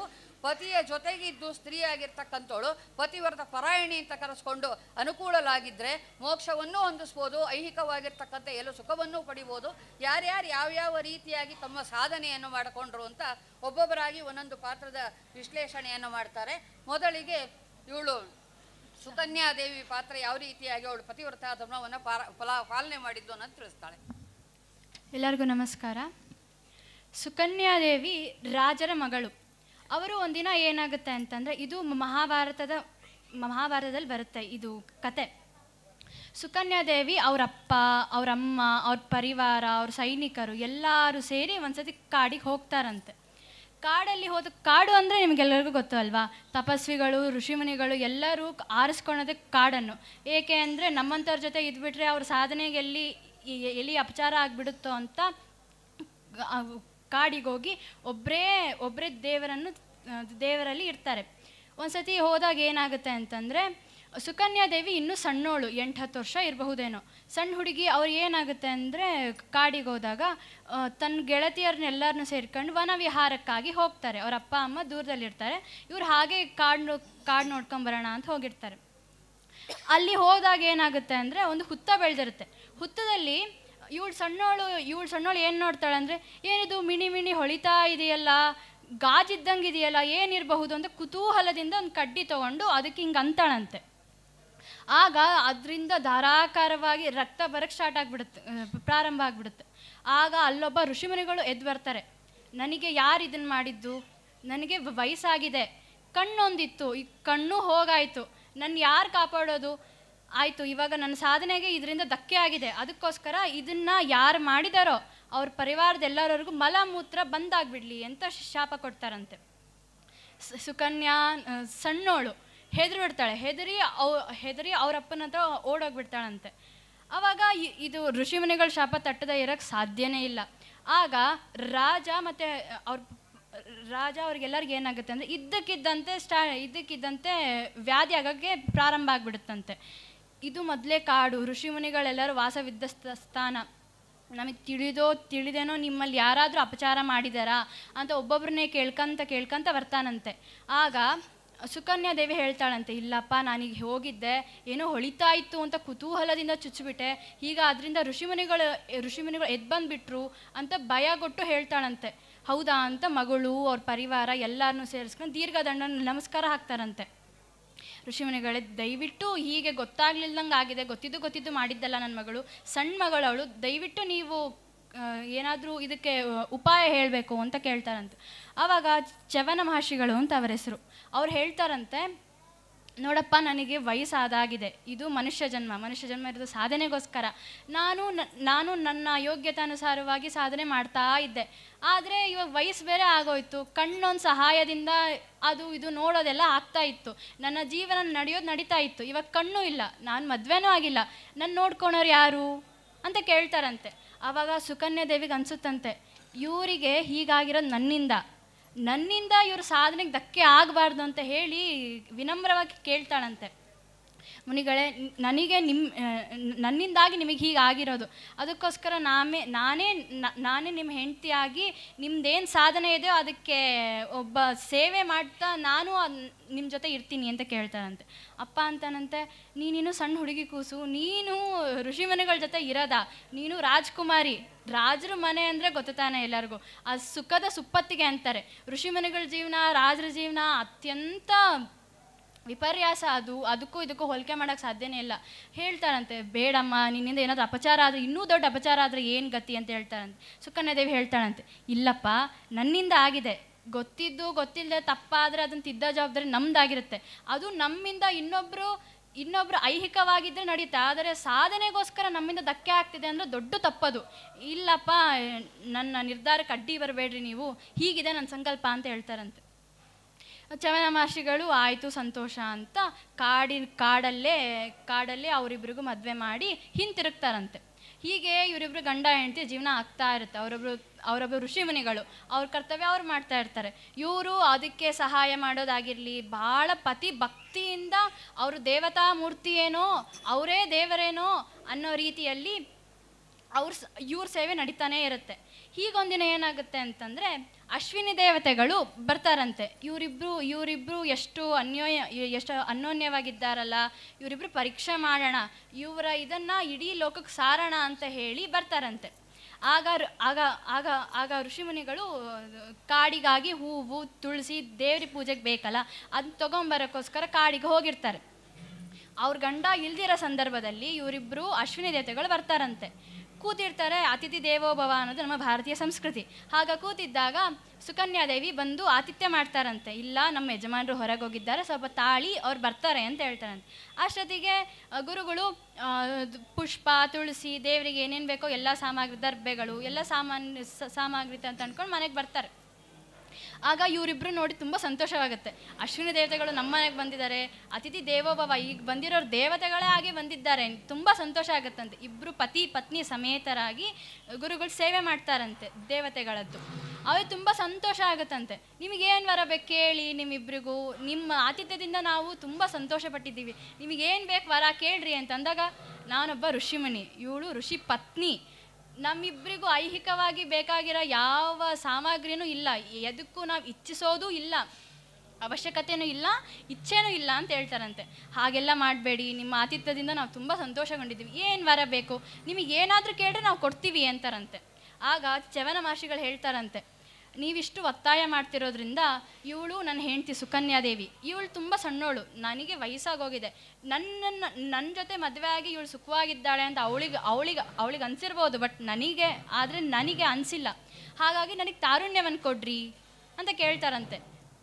ಐಹಿಕ ಸಾಮಗ್ರಿಗಳನ್ನ ಕೇಳಿಲ್ದಂಗೆ ಹೆಂಡ್ತಿಗೋಸ್ಕರವಾಗಿ ಹೆಂಡ್ತಿಗೊಂದು ವರ ಕೇಳಿದಾರಲ್ಲ ಅಂತ ಖುಷಿ ಆಗುತ್ತಂತೆ ದೇವತೆಗಳಿಗೆ. ತಥಾಸ್ತು ಅಂತಾರಂತೆ. ಅವಾಗ ಸಿದ್ಧರಸ ಅನ್ನೋದೊಂದು ಸರೋವರ. ಅಲ್ಲಿ ಹೋಗ್ತಾರಂತೆ ಮೂರು ಜನ. ಮೂರು ಜನ ಹೋಗಿ ಒಂದೇ ಸತಿ ಮುಳುಗಿ ಹೇಳ್ತಾರಂತೆ. ಮುಳುಗಿ ಎದ್ದಾಗ ಮೂರೇ ಜನದ್ದು ಒಂದೇ ರೂಪ. ಒಂದೇ ಥರ, ಒಂದೇ ರೂಪ, ಒಂದೇ ಲಾವಣ್ಯ, ಒಂದೇ ಯೌವನ, ಒಂದೇ ತಾರುಣ್ಯ. ಮೂರು ಜನ ಒಂದೇ ಕಾಣ್ತಾರಂತೆ. ಸುಕನ್ಯಾ ದೇವಿ ಹೆದರಿಕೆ ಆಗೋಗುತ್ತಂತೆ. ಯಾರು ಇವ್ರ ಮೂರು ಜಲಿ ನನ್ನ ಪತಿ ಅಂತ ಕೇಳ್, ಅಂತ ಯೋಚನೆ ಮಾಡ್ಕೊತ ಇರ್ತಾರಂತೆ. ಮೂರು ಜನ ದೇವತೆಗಳು ಹೇಳ್ತಾರಂತೆ. ನೋಡಮ್ಮ, ಇದರಲ್ಲಿ ನಾವಿಬ್ರು ದೇವತೆಗಳು. ಒಬ್ಬರು ನಿಮ್ಮ ಪತಿ. ಇದರಲ್ಲಿ ಯಾರ, ಇದರಲ್ಲಿ ನಿಮ್ಮ ಪತಿ ಯಾರು ಅಂತ ಹೇಳು ನೋಡೋಣ ಅಂತ ಹೇಳ್ತಾರಂತೆ. ಇವಳಿಗೆ ಫುಲ್ಲು ಇವಳಿಗೆ ಇವಳಿಗೆ ಭಾಳ ಇದಾಗ್ಬಿಡುತ್ತಂತೆ. ಏನಂದರೆ ನಾನು ಪರಪುರುಷನನ್ನು ಇವ ನನ್ನ ಗಂಡ ಅಂತ ಹೇಳಿದರೆ ದೈಹಿಕವಾಗಲ್ ದೈಹಿಕವಾಗಿ ಆಗದಿದ್ದರೂ ಮಾನಸಿಕವಾಗಿ ಪತಿಭಕ್ತಿಯಲ್ಲಿ ನಾನು ಕುಂದದೆ ಅಂತ ಆಗುತ್ತದು. ಅದಕ್ಕಾಗಿ ಭಯ ಆಗ್ಬಿಡುತ್ತಂತ ಹೇಳಿ ದೇವತೆಗಳೇ, ನೀವು ತುಂಬ ದೊಡ್ಡೋರು. ನನ್ನನ್ನು ಹೀಗೆ ಪರೀಕ್ಷೆ ಮಾಡಬೇಡಿ. ಸಾಕು, ಆಗಿದ್ದು ಪರೀಕ್ಷೆ. ದಯವಿಟ್ಟು ದಯಮಾಡಿ ನೀವೇ ನೀವೇ ಇದ್ರಲ್ಲಿ ಯಾರು ನನ್ನ ಪತಿ ಹೇಳ್ರಿ ಅಂತ ಕೇಳ್ತಾರಂತೆ ಇವಳ ಭಕ್ತಿ ನೋಡಿ ತುಂಬ ಖುಷಿಯಾಗೋಗುತ್ತೆ ದೇವತೆಗಳಿಗೆ. ಅಮ್ಮ, ಆಯಿತು ನಿನ್ನ ಪರೀಕ್ಷೆ ಎಲ್ಲ ನೀನು ನೀನು ಮುಗಿಸ್ಕೊಂಡಾಗಿದೆ. ಇವರೇ ನಿನ್ನ ಪತಿ ಅಂತ ಇದು ಮಾಡ್ತಾರಂತೆ. ಇವರು ಇವರಿಬ್ಬರಿಗೂ ಆಶೀರ್ವಾದ ಮಾಡಿ ದೇವತೆಗಳು ತಮ್ಮ ಸ್ಥಾನಕ್ಕೆ ಹಿಂದಿರುಗ್ತಾರೆ. ಈಗ ಇವರಿಬ್ಬರು ತಾರುಣ್ಯ ಬಂದಿದೆ ಮುನಿಗಳಿಗೆ. ಇವ್ರ ಹೆಂಡ್ತಿ ಇವರಿಬ್ಬರು ಮಾತಾಡ್ಕೊತ ಕೂತಿರ್ತಾರಂತೆ. ರಾಜ ಬರ್ತಾನಂತೆ ಮತ್ತಿಲ್ಲಿ. ರಾಜಂಗೆ ಇಲ್ಲಾಗಿರೋ ಯಾವ ಕಥೆನೂ ಗೊತ್ತಿಲ್ಲ. ರಾಜ ಬಂದ ತಕ್ಷಣ ನೋಡ್ತಾನೆ, ತನ್ನ ಮಗಳು ಯಾರೋ ಒಬ್ಬ ಪರಪುರುಷನ ಜೊತೆ ಇದ್ದಾನೆ ಅಂತ ಅನ್ಕೊಂಡ್ಬಿಡ್ತಾನಂತೆ. ಪರಪುರುಷನ ಜೊತೆ ಇದ್, ಮದುವೆ ಆಗಿರೋದು ಒಬ್ಬ ಋಷಿ ಮುನಿಗಳು, ಅದು ವಯಸ್ಸಾಗಿರೋರು. ಅವ್ರನ್ನ ಬಿಟ್ಟು ಇನ್ನೊಬ್ರ ಜೊತೆ ಕೂತಿದಾಳಲ್ಲ ಅಂತ ಸಿಟ್ಟು ಬಂದು ಕತ್ತಿಯನ್ನು ಎತ್ತಿ ಇವಳನ್ನ ಸಂಹಾರ ಮಾಡಿಬಿಡ್ತೀನಿ ನಾನು. ಧರ್ಮಕ್ಕೆ ವಿರುದ್ಧವಾಗಿ ಮಾಡಿದಾಳೆ ಇವಳು, ಇವಳನ್ನ ಸಂಹಾರ ಮಾಡಿಬಿಡ್ತೀನಿ ಅಂತಂತಾರಂತೆ. ಆವಾಗ ಸುಕನ್ಯಾ ಹೇಳ್ತಾಳಂತೆ, ನೀನು ನೀನು ಅನ್ಕೊಂಡಿರೋ ಈಗ ಏನು ನಡೆದಿಲ್ಲ, ಹೀಗೆಲ್ಲ ವೃತ್ತಾಂತ ಆಯಿತು ಅಂತ ಹೇಳ್ತಾಳಂತೆ. ತುಂಬ ಖುಷಿಯಾಗೋಗುತ್ತಂತೆ. ತುಂಬ ಖುಷಿಯಾಗಿ ನಮ್ಮ ಮನೆಯಲ್ಲಿ ಯಾಗ, ಯಾಗಾದಿಗಳು ಆಗ್ತಾ ಇದ್ದಾವೆ ನೀವಿಬ್ಬರು ನೀವಿಬ್ಬರು ಸಮೇತರಾಗಿ ಬರಬೇಕು ಅಂತ ಕೇಳಿ ತನ್ನ ಅಳಿಯ ಮಗಳನ್ನ ಕರ್, ಕರ್ಕೊಂಡು ಹೋಗ್ತಾರಂತೆ. ಹಿಂಗೆ ಮುಂದೆ ಸುಖವಾಗಿರ್ತಾರಂತೆ ಇದರಲ್ಲಿ ನಮಗೇನು, ನಮ್ದೇನು ಕತೆ ಅಂತ. ಇದು ಹೆಣ್ಣು ಹೇಗಿರಬೇಕು ಅಂತ ಇಲ್ಲಿ ಆಗ್ ಆಗ್ತಾ ಇದೆ. ರಾಜರ ಮಗಳಾಗಿ ಅವಳು ಋಷಿನ ಕೈ ಹಿಡಿಯಕ್ಕೆ ಯಾವತ್ತೂ ಹಿಂದೇಟ್ ಹಾಕಲೇ ಇಲ್ಲ. ಅವಳೆ, ಅವಳು ಅನ್ಕೋಬೋದಿತ್ತು, ನಾನೇನಾದರೂ ಆ ತಪ್ಪು ಕೆಲಸ ಮಾಡಿದ್ ಮಾಡಲಿಲ್ಲದಿದ್ದರೆ ಒಬ್ಬ ಚಕ್ರವರ್ತಿನ ಮದುವೆ ಆಗ್ಬೋದಾಗಿತ್ತು ನಾನು. ಅವ್ರ ಅಪ್ಪಂದೇನು ಕಮ್ಮಿ ಇರ್ತಿರ್ಲಿಲ್ಲ. ಚಕ್ರವರ್ತಿನೇ ಅವನು. ಚಕ್ರವರ್ತಿನ ಮದುವೆ ಆಗ್ಬೋದಾಗಿತ್ತು, ರಾಜನ ಮದುವೆ ಆಗಿರಬೇಕು ಅಂತ ಖಂಡಿತ ಯಾವತ್ತೂ ಅನಿಸಿಲ್ಲ. ಋಷಿಮುನಿಗಳ ಸೇವೆ, ವೈಷ್ಣವರ ಸೇವೆನೇ ದೇವತೆಗಳ ಪೂಜೆ ಅಂತ ಅಂತಾರೆ. ಆದರೆ ಋಷಿಮುನಿಗಳ ಸೇವೆನೇ ಮಾಡೋದು ಮಹಾಭಾಗ್ಯ ಅಂತ ಇದು ಮಾಡ್ತಾಳೆ. ಆಮೇಲೆ ಮಾನಸಿಕವಾಗಿಯೂ ಪರಪುರುಷರನ್ನು ತನ್ನ ಗಂಡ ಅಂತ ಅನ್ಕೊಳೋದಕ್ಕೂ ಹಿಂದೇಟ್ ಹಾಕಿದ್ಲವಳು ದೈಹಿಕವಾಗಿ ಅದು ಬೇರೆನೇ ಮಾತು. ಆದರೆ ಮಾನಸಿಕವಾಗಿಯೂ ಅವಳು ಹಾದಿ ತಪ್ಪಲಿಲ್ಲ ಅನ್ನೋದು ನಮ್ಮ ಈ ಕಥೆಯ ಒಂದು ಸಾರ. ಧನ್ಯವಾದಗಳೆಲ್ಲರೂ ನಿನ್ನೆ ಸಾಯಂಕಾಲ ಆಚಾರಗಳನ್ನ ಪರಿಚಯ ಮಾಡಿಸಿದ್ದು. ಏನೋ ಸಂಕ್ಷಿಪ್ತವಾಗಿ ಒಂಚೂರು ಕತೆ ಹೇಳಿದೆ. ಅದನ್ನು ತುಂಬ ಚೆನ್ನಾಗಿ ವರ್ಣನೆ ಮಾಡಿದ್ಲು. ಒಬ್ಬ ಹೆಣ್ಣು ಮಗಳು ಯಾವ ರೀತಿಯಾಗಿ ಬದುಕಬೇಕು ಜ್ಞಾನಿಗಳ ಸೇವೆಯನ್ನು ಯಾವ ರೀತಿ ಮಾಡೋದ್ರಿಂದ ಅದರಿಂದ ಪುಣ್ಯ ಲಾಭ ಆಗತ್ತೆ, ಅದೇ ಮನುಷ್ಯ ಜನ್ಮದ ಸಾರ್ಥಕತೆ ಅನ್ನೋದನ್ನ ತುಂಬ ಅದ್ಭುತವಾಗಿ ನಿರೂಪಣೆ ಮಾಡಿದ್ಲು ಅಂತ ನಾನು ಹೇಳಿಕೊಟ್ಟಿದ್ದೀನಿ ಅಂತ ನಾನು ಹೊಗಳಿದ್ದೀನಿ. ಆದರೆ ಮುಂದೆ ಆಚಾರಗಳು ಹೇಳ್ತಾರೆ ಅವಳು ಯಾವ ಮಟ್ಟದಲ್ಲಿ ಹೇಳಿದ್ಲು ಅನ್ನೋದನ್ನು ಮುಂದೆ ತಿಳಿಸ್ತಾರೆ. ಈಗ ಸುನೀತಿ ಅವಳು ಧ್ರುವನಿಗೆ ಯಾವ ರೀತಿಯಾಗಿ ಸಂಸ್ಕಾರವನ್ನು ಕೊಟ್ಲು, ಆ ತಾಯಿ ಮಾಡಿದ್ದೇನು ಅನ್ನೋದನ್ನ ಶ್ರೀಮತಿ ಹರಿಣಿಯವರು ತಿಳಿಸ್ಕೊಡ್ತಾರೆ ನಮಗೆ. ಎಲ್ಲರಿಗೂ ನಮಸ್ಕಾರ. ಉತ್ತಾನಪಾದ ಅನ್ನೋ ರಾಜಂಗೆ ಇಬ್ಬರು ಹೆಂಡ್ತಿರಿರ್ತಾರೆ, ಸುರುಚಿ ಮತ್ತು ಸುನೀತಿ ಅಂತ. ಸುನೀತಿ ಧ್ರುವರಾಜನ ತಾಯಿ.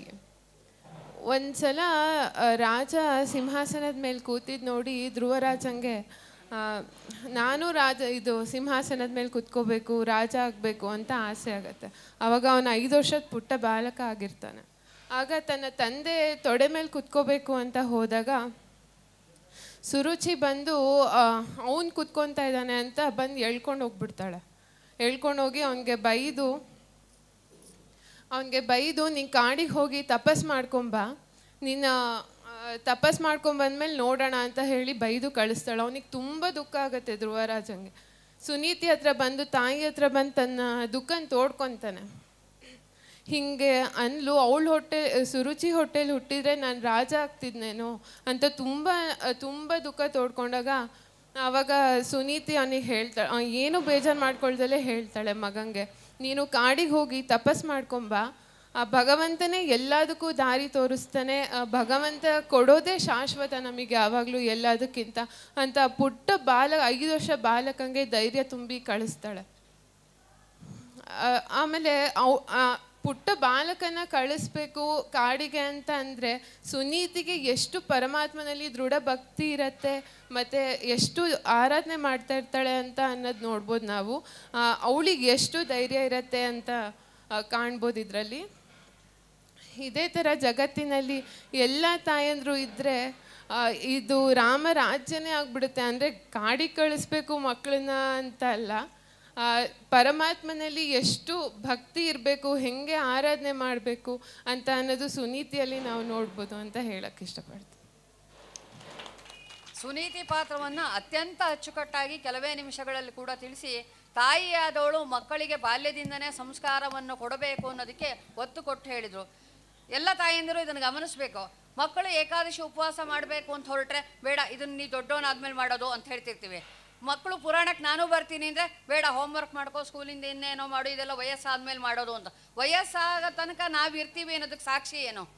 ನಾವು ಯಾವತ್ತು ಡೇಟ್ ಆಫ್ ಬರ್ತಾ ಇರುತ್ತೋ ಅವತ್ತೇ ಡೇಟ್ ಆಫ್ ಎಕ್ಸ್ಪೈರಿ ಬಟ್ ನಮ್ಗೆ ಅದು ಗೊತ್ತಿರಲ್ಲ, ಮಾತ್ರೆ ಮೇಲಾದರೆ ಬರ್ದಿರ್ತಾರೆ, ಓದಿರ್ತೀವಿ ಅಟ್ಟೆ. ಅದಕ್ಕೆ ಕೌಮಾರೇ ಆಚರೆ ಪ್ರಾಜ್ಞ ಅಂತ ಪ್ರಹ್ಲಾದ್ ರಾಜರು ತಿಳಿಸ್ಕೊಟ್ಟಂಗೆ, ತಾಯಿ ಆದವಳು ಬಾಲ್ಯದಿಂದನೇ ಮಕ್ಕಳನ್ನು ಸಂಸ್ಕಾರ ಕೊಟ್ಟು ಬೆಳೆಸಿದರೆ, ಅವರು ತಿಳಿಸಿದಂತೆ ರಾಮರಾಜ್ಯ ಆಗೋದ್ರಲ್ಲಿ ಯಾವುದೇ ಅನುಮಾನ ಇಲ್ಲ. ಈಗ ಸತಿ ಸಾವಿತ್ರಿ, ಅವಳು ಯಾವ ರೀತಿಯಾಗಿ ಮೃತಪತಿಯನ್ನು ತನ್ನ ಪಾತಿವ್ರತ್ಯ ಧರ್ಮದಿಂದ ಬದುಕಿಸಿದ್ಲು ಅಂತ ಹೇಳಿ ಅದನ್ನ ವಸುಧಾ ಅರ್ಚಕ ಅವರು ನಮಗೆ ಸುಂದರವಾಗಿ ತಿಳಿಸ್ಕೊಡೋರಿದ್ದಾರೆ. ಹರೇ ಶ್ರೀನಿವಾಸ, ಸಾವಿತ್ರಿ, ಯಮಧರ್ಮರಾಜನನ್ನೇ ತನ್ನ ಪಾತಿವ್ರತ ಬಲದಿಂದ ಗೆದ್ದಂಥ ಮಹಾ ಸಾಧ್ವಿ. ಸಾವಿತ್ರಿಯ ತಂದೆಗೆ ಹದಿನೆಂಟು ವರ್ಷ ಆದ್ರೂ ಮಕ್ಕಳಿರಲ್ಲ ಅದರಿಂದ ಅವನು ತಪಸ್ ಯಾಗ, ಹೋಮ ಮಾಡ್ತಾನೆ. ಹೋಮ ಮಾಡಿದಾಗ ಹೋಮಕುಂಡಲದಿಂದ ಸಾವಿತ್ರಿ ಪ್ರಾದುರ್ಭವಳಾಗಿ ಮಗಳನ್ನ ಕೊಡ್ತಾಳೆ. ಆ ಮಗಳನ್ನ ಅವನು ತುಂಬ ರೀತಿಯಿಂದ ಒಳ್ಳೆ ವಿದ್ಯಾಭ್ಯಾಸ ಕೊಟ್ಟು ಒಳ್ಳೆಯದರಿಂದ ಬೆಳೆಸ್ತಾನೆ. ಅವಳು ತುಂಬ ಒಂಥರ ಅವಳಿಗೆ ಒಂದು ಪ್ರಭೆ ಇರುತ್ತೆ ಒಂದು. ಆ ಪ್ರಭೆ ದೆಸೆಯಿಂದ, ಆ ವಿದ್ಯಾವಂತೆಯಿಂದ, ಆ ರೂಪದಿಂದ ಯಾರು ಮದುವೆ ಮಾಡ್ಕೊಳ್ಳೋಕ್ಕೆ ಮುಂದೆ ಬರಲ್ಲ. ಅವಾಗ ತಂದೆ ಹತಾಶನಾಗಿ ಮಗಳ ಹತ್ರ ಬಂದು ಹೇಳ್ತಾನೆ, ಅಮ್ಮ, ನಿನಗೆ ಅನುರೂಪವಾದ ವರನ ಹುಡುಕಕ್ಕೆ ನಂಗೆ ಇಲ್ಲ. ಅದರಿಂದ ನೀನೇ ಹೋಗಿ ನಿನ್ನ ತಕ್ಕದಾದ ವರನ ಹುಡುಕೋ ಅಂತ ಹೇಳ್ತಾನೆ. ಆವಾಗ ಸಾವಿತ್ರಿ ಧೈರ್ಯ ಮಾಡಿ ಹೊರಡ್ತಾಳೆ. ಹೊರಟು ನೋಡ್ತಾಳೆ ಎಲ್ಲ ಕಡೆ ನೋಡಿ, ಸತ್ಯವಾನ ಅಂತಂದೊಬ್ಬನ ಸಜಾತಿಯವನಾದ, ತನ್ನದೇ ಜಾತಿಯವನಾದ, ತನಗೆ ಅನೂಪ ಅನುರೂಪನಾದ ವರನನ್ನು ಹುಡುಕೊಂಡು ಅವನ್ನ ಬಂದು ತಂದೆಗೆ ತಿಳಿಸ್ತಾಳೆ. ಅಪ್ಪ, ಈ ಥರ ನಾನು ಸತ್ಯವಾನ ಅಂತ ಒಬ್ಬರನ್ನು ಇಷ್ಟಪಟ್ಟಿದ್ದೀನಿ. ಮಾನಸಿಕವಾಗಿ ಅವ್ರನ್ನ ವಿವಾಹ ಆಗ್ಬಿಟ್ಟಿದ್ದೀನಿ ನಾನು. ನೀನು ಕನ್ಯಾದಾನ ಮಾಡಿಕೊಡೋದೊಂದೇ ನಿನ್ನ ಕೆಲಸ ಅಂತ ಹೇಳ್ತಾಳೆ ತಂದೆಗೆ. ತಂದೆ, ಆಯ್ತಮ್ಮ, ನೀನು ಹೇಗಂದ್ರೆ ಹಾಗೆ ಅಂತ ಅನ್ನೋಷ್ಟರಲ್ಲಿ ನಾರದ ಮಹರ್ಷಿಗಳು ಅಲ್ಲಿಗೆ ಬರ್ತಾರೆ. ಅವ್ರು ಬಂದು ಹೇಳ್ತಾರೆ, ನೀನು ಅನುರೂಪವಾದವರನ್ನು ಹುಡ್ಕೊಂಡಿದ್ಯಾ? ಅದೆಲ್ಲ ಕರೆಕ್ಟ್, ಸರಿಯಾಗಿದೆ. ಆದರೆ ಅವನು ಇವತ್ತಿಂದ ಇನ್ನು ಒಂದು ವರ್ಷ ಮಾತ್ರ ಆಯುಸ್ ಇರೋದು ಅವನಿಗೆ. ಅದರಿಂದ ನೀನು ಬೇರೆ ಯಾರನ್ನಾದರೂ ಒರೆಸೋದು ಒಳ್ಳೆಯದು ಅಂತ ಹೇಳ್ತಾರೆ. ಆದರೆ ಸಾವಿತ್ರಿ ದೃಢ ನಿರ್ಧಾರ ಬಿಡಲ್ಲ.